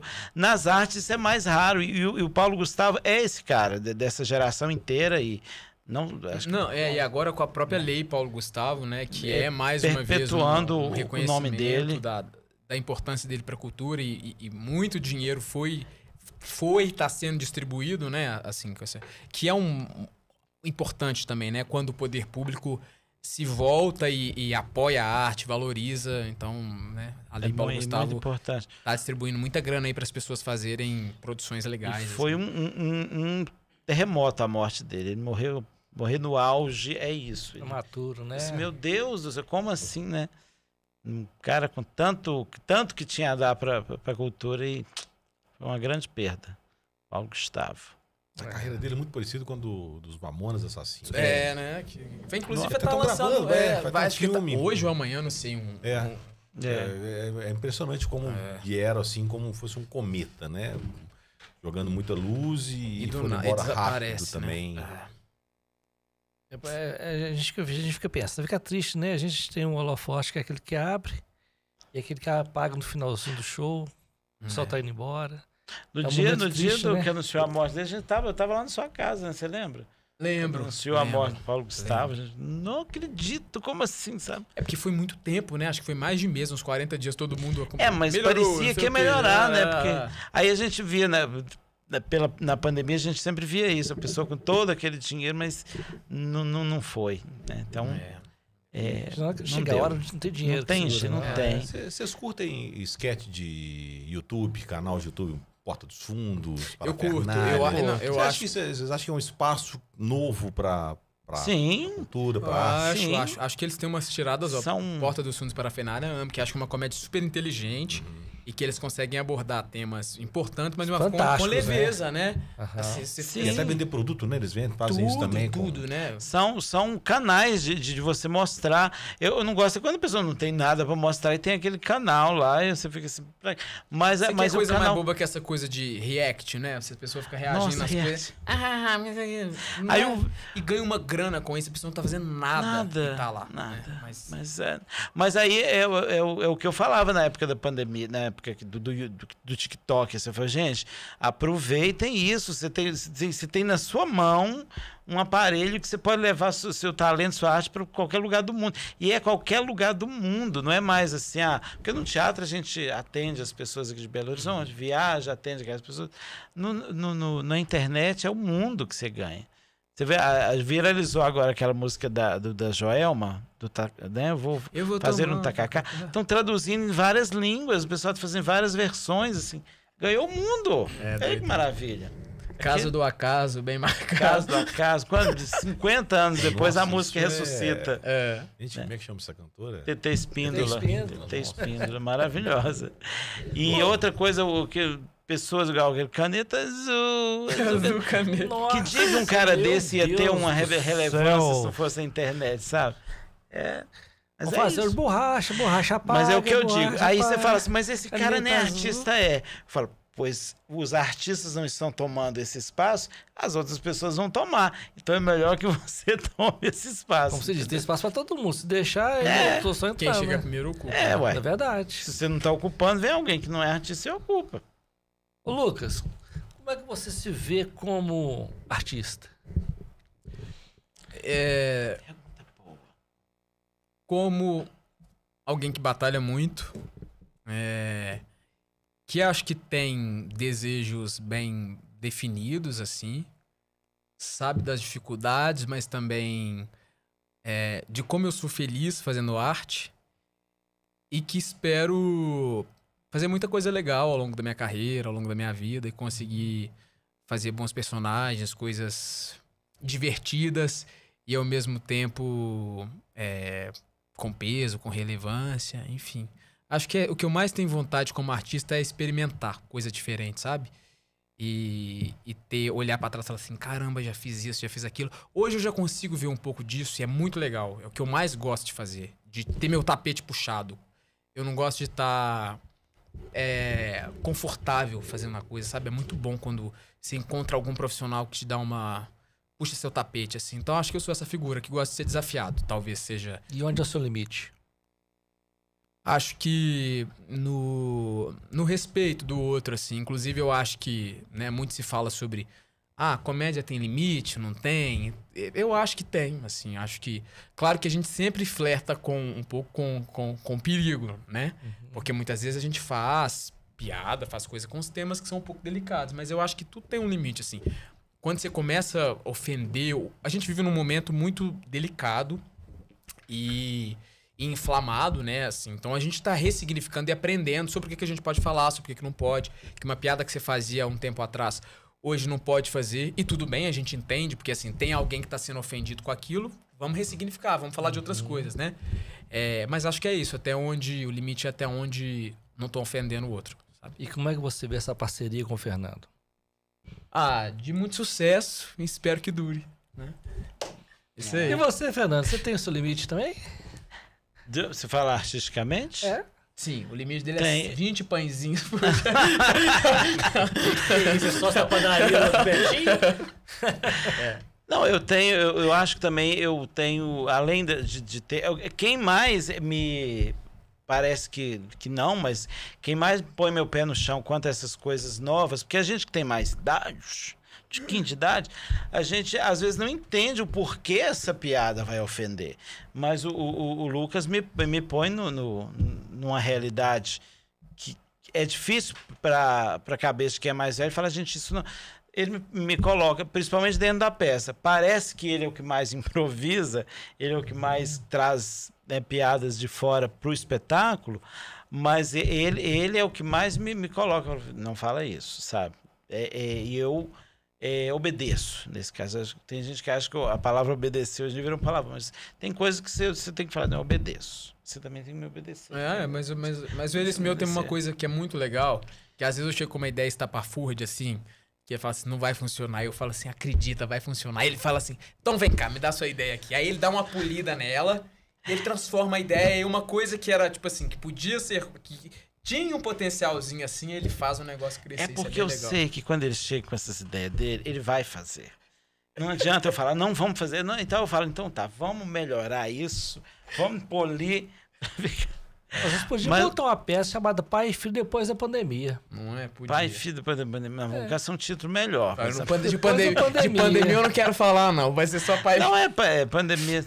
É, não, não coisa. Mas então, o meu limite. Passar dois anos junto, É. preso, que agora acabou a pandemia. Tchau, pai. Tchau, sai. Liberdade. Mas eu Ai. acho que o limite, eu tenho aprendido esse limite, assim, é, eu, eu sempre, mas eu já tenho uma coisa comigo, eu sempre eu acho que se alguém se ofendeu, tem alguma coisa errada. No sentido de que você pode contar uma piada de um jeito que seja... é, a Heloísa PRC fala assim, que a comédia é igual sexo, tem que ser bom para os dois. Se um tá incomodado, se machucou alguém, então não, tá errado. Então, comédia é igual sexo, tem que ser bom para os Mas dois. As pessoas não se ofendem muito mais fácil hoje. Não é, eu não acho que não, eu não acho que se ofendem mais. só. Eu acho que as pessoas estão tendo é o que chamam de lugar de fala. Porque antigamente as pessoas eram ofendidas, mas não tinha onde reclamar daquilo, entendeu? É lógico, existe certos. Viram uma, uma- em alguns momentos, viram uma coisa meio desproporcional. Mas eu, eu acho que o início disso é uma coisa que é correta. As pessoas, tipo assim, não, peraí, você não vai me ofender. E tá tudo bem, a gente tem que aprender a essas coisas. Por Não isso, aceitarei, Não. não, tolerarei. É, ser mas- desrespeitado. Isso não, não atrapalha um pouco na, na, na programação de vocês com, com relação às falas, não? Você Cara, tem que ficar se policiando o tempo todo? É, não, é, é, é, é isso, eu acho que é um momento delicado, sim. Mas eu acho que como tudo se adapta na vida, a gente tem que se adaptar também, sabe? Não dá pra você ficar. Eu acho que é uma fase de transição. tempo, eu. Vai chegar, num, vai chegar num lugar, nós estamos em momentos de turbulência. Achar lugar. Não né? perde determinadas situações a, a própria graça, não? A comédia? Cara, sim. Eu, por exemplo, eu, eu às vezes faço muito teatro empresarial é, em que tinha umas temáticas que, assim, de alguma forma, eram meio que ofensivo, assim, pra pessoa, pra mulher, às vezes, assim. E as empresas estão tomando esse cuidado, assim, né? Então, os artistas também estão tendo que se reinventar. Fala, tipo assim, poxa, É, tem não o- posso fazer mais piada com isso, né? mas você pode eu vou fazer de outra a gente maneira. no mundo politicamente correto. Tanto para as empresas quanto para as pessoas. E todo mundo tem muito regulares. medo, né? De, de, de deslizar. Não, acho que o que né? o Lucas está querendo dizer é, o É, seguinte: a existe um gente, a gente tem que aprender a, fa- a fa- fazer todo mundo Reinventar, na rir. verdade. é. É. Se- Já, se isso aqui ofende, vamos fazer de outra maneira. Não... É, é que eu acho que A você gente não tem tem que que ser ficar maleável. preso ao, que, ao jeito que era, sabe? Tudo mudou tanto, você pegar... Hoje, você assistia DVD, hoje você não assiste mais, você Mas tinha era vídeo mais cassete. fácil, né? A gente passava a- lá atrás. Era Eu acho mais que tem, tudo tem lugar. de fazer exemplo, comédia, de, falar as a coisas. piada que você lembra, conta. lembra os fa- do- dos trapalhões? É. Né? Como é que eram as mas piadas era outra entre eles época. ali. É, né? é, era é outra o que eu acho que é como eu Outra vi isso no mas- acho que a é. gente vive um, um, um período de transição, assim. E eu torço para que essas coisas é, fiquem mais naturais ao longo do tempo. Essas coisas que eu tô dizendo que no as passado, lutas, né? é, que, que elas possam ser já. é, as, não as. Naturalizar, sabe? Que as pessoas não precisem lutar tanto pelos direitos, pelos espaços, por serem respeitadas. Eu acho que quando a gente chegar nisso, e, to- e torço para que a gente chegue, tudo vai ser um pouco mais tranquilo. Entende? Então, eu, eu entendo esse momento difícil e, e delicado, mas acho que é o momento que as pessoas estão tendo oportunidade de ter voz e falar assim: ei, estamos aqui. Né? Uhum. Talvez Não para um, um- então. um, um momento mais tranquilo mesmo, em que, que a coisa seja naturalizada e que as pessoas não precisem ficar é, E eu acho gritando e, e se, e, se, e se reafirmando todo dia, e se, né? Ei, me respeita, eu tô aqui, né? Pois é, eu acho que tem lugar pra tu também. A piada, que, isso você acha que sempre foi isso, né? Piada que você conta num boteco com aquele monte de amigo cachaceiro, não é a mesma piada que você vai contar pras senhorinhas da igreja, entendeu? Você, você vai ter que saber. Você não pode querer enfiar na goela daquelas, daquelas senhorinhas da igreja, a não ser que seja igual a, a Dona Maria que você falou. Imagina o Fernando fazendo uma comédia da irmã Cotinha e chega um grupo de irmãs. Nós estamos gostando do que você fez. A nossa Ah, imagem elas adoram. junto. É, elas gostavam. Mas imagina se fosse o A contrário. preocupação que eu tenho é o seguinte, você falou algo interessante, você estava falando, estava pensando aqui. Você- é, é claro que você tem que dar voz a essas pessoas, né? Uhum. É a bandeira de, né? Olha, eu tô ofendida com isso. Mas quando você faz uma, uma peça para um público, né? Você coloca 100, 200 pessoas dentro de um teatro, obviamente você pode agradar uma e não agradar outra. Sim. E aquilo ser um limitador, aquela que você não está agradando. Então, Você assim, não tem um num grupo, poder... Eu- eu- grupo grande, você pode ter ali 10, 15 pessoas que vão se ofender por alguma coisa. Eu acho que o bom Isso senso. acontece? Acontece, eu acho que o bom senso faz parte. Muitas vezes, por exemplo, você faz uma coisa, uma piada, uma coisa, que alguém reclama. E aí aquilo te starta uma coisa, fala assim: Poxa vida, eu não tinha pensado nisso. Faz sentido. Mas às vezes também você vai falar assim, ok, entendi. É, Mas vou continuar, porque. ofendeu e tal, mas, as- mas assim, eu, a partir do que eu acredito, e aí acho que vale também conversar. Eu sempre gosto de trocar muita ideia, sabe, com pessoas muito engajadas nas causas, seja raciais, seja de gênero, é, enfim, que aí você- troca ideia, você fala assim, ó, aconteceu isso. Começa a entender, né? né? Porque, porque às vezes é isso, às vezes é uma pessoa que reclamou uma coisa que não, que você acha que não faz sentido chegar àquela conclusão. Mas às vezes uma reclamação te dá um start e fala assim, pô, eu nunca tinha pensado nisso, mas é verdade. Então acho que é o bom senso, assim, você para, pensa e decide o que, é que vai fazer. Se corta, se deixa, entendeu? Mas tem hora que essa reivindicação fica muito radical, né? Pois é, mas aí a gente. Sim, é isso que eu tô sempre dizendo. tem A gente. radicalismo. Na nossa Eu tô, eu tô peça. baliza, isso né? porque eu, eu dei uma palestra uma vez de, de trânsito, quando eu estava falando com um homem e desrespeita mais a sinalização, faz isso, é mais um infrator de trânsito, ninguém falou nada. Mas na hora que eu falei que a mulher estava bebendo mais, né, usando mais celular, aí apareceu uma mulher, ó, não, para com isso, não sei o quê. Tá lá, tá, tá, tá- a fonte tá aqui da estatística, Uhum. né? Tá aqui, eu não tô falando questões de política, eu tô falando da realidade. É. Na nossa Aí não peça tem um momento Sim, em que, em entendeu? que ele Sim. fala das câmeras. E aí ele fala assim: ah, não, essas câmeras aqui, que as câmeras estão estragadas. Eu falo, essas câmeras, aquela ali chama Kátia, essa aqui é Steve Wonder. Uma piadinha antiga, né? Uhum. Mas por quê? Porque elas estão cegas. Aí eu falo com ele, ah, porque aí é uma hora que eu dou uma invertida nele, né? Que vocês têm que assistir a peça para saber o porquê. né? Eu falo, ah, você sabia que você pode ir pra cadeia? Porque ele tá querendo me mandar pra cadeia. Porque eu desrespeitei o funcionário público. Na- Que é crime, placa, né? Uma tem uma placa lá. Desacatar funcionário público no exercício da sua função é, É crime. crime. Aí ele vai aí eu falo assim: "Ah, e você sabia que você também pode ir pra cadeia? Por quê? Porque você tá fazendo chacota com deficiências visuais, entendeu? Então é uma piada que se ofendeu depois, eles veem que os direitos deles são respeitados dentro da peça. É uma forma de você é, fazer uma piada e manter esse é, É. Entendeu? É a o que eu piada tô tá lá. por isso que eu falo, a, a turbulência é a gente achar uma nova maneira, uma nova maneira de fazer esse humor. É, é uma, um, um achado é esse, porque eu acho que não tinha, né? Às vezes a piada até o próprio é. alerta, né? Não tá tinha no acontecendo, texto. né? E tudo É um e- chamado, e, isso né? que tudo depende do jeito que você faz a coisa, né? Às vezes é- É. você você faz a piada como uma crítica, né? É, Uhum. é, o- tem- É eu vi Wonder, citando o Fernando mas nesse Limão. caso, a própria peça de vocês é uma crítica, né? Ao É nosso uma sistema- crítica, é uma crítica. Ao nosso sistema administrativo, aos nossos sistemas Sim. de, de, de gestão pública, né? Sim, a gente Acaba faz isso com bom crítica. humor, assim, né? Com, com lançando mão da E, e por comédia. ser algo que envolve é, o poder público, é, vocês pensaram em algum, algum elemento que pudesse prejudicá-los da peça? Nesse sentido de ser tolhido? É, é muito leve o nosso texto, O muito Fernandinho leve. trouxe a experiência do órgão público? Trouxe. Passei pra ele. Você é, acha que eu não ia Não, perguntar? porque assim, a gente. é, é como, como a gente já falou um pouco, não é nosso objetivo ficar. é, é, demonizando mesmo, tipo assim, o funcionário público. Não, O funcionário é, público é é de umas coisas que estão Que ali. gente tem que rir. Tipo assim, que as pessoas estão Você acha sujeitas. que o funcionário no Rio também do que chega no final do dia? Tem que rir. É. E eu vou te falar mais. O funcionário público, quando junta aquele grupinho e senta no final de semana, no, do, do expediente, vai tomar cerveja, eles vão contar o que aconteceu durante o dia com forma de comédia. Claro. Certeza. Cara, o, o, o, o rir existe pra isso. Se a gente não rir, a gente eh, não tem como viver se você não rir. É.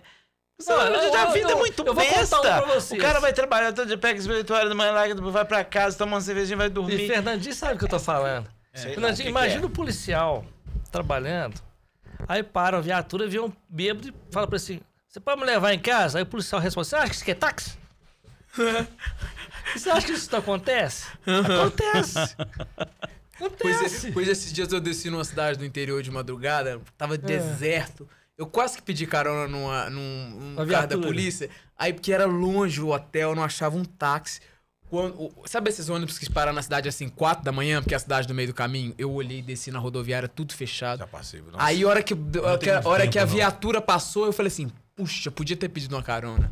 Andei a pé na cidade até chegar no hotel. Quase que eu fui de. Eu tô surpreso de você não camburão, ter pedido. Eu tô surpreso. Passei você por não isso de. Porque Mato ah, Grosso. ele é eu cara de pediria, pau. pedi, eu, faria, eu pediria igual bebo, mas é porque quando, quando minha ficha caiu, a polícia Ah, já tava lá na é cara essa de pau pra e essas voltar aqui coisas. no podcast poder contar como é que foi essa experiência. Sim. Vamos lá. O, o Barbosa, ele tem umas caras de pau que eu fico assim, meu Deus, a gente, a- esses self-tapes que a gente faz, a gente sempre teve, um- assim, eu não acredito depois que a gente fez, que ele sempre põe nessas enrascadas dele. Esse dia nós pegamos um ônibus pra fazer um self-tape gravando, assim, Isso nós não é nada, ônibus eu- conversando. Isso não é nada, eu tô lembrando do dia que você pegou a bicicleta emprestada do cara, que era pra fazer um teste, que ele foi entregador de comida.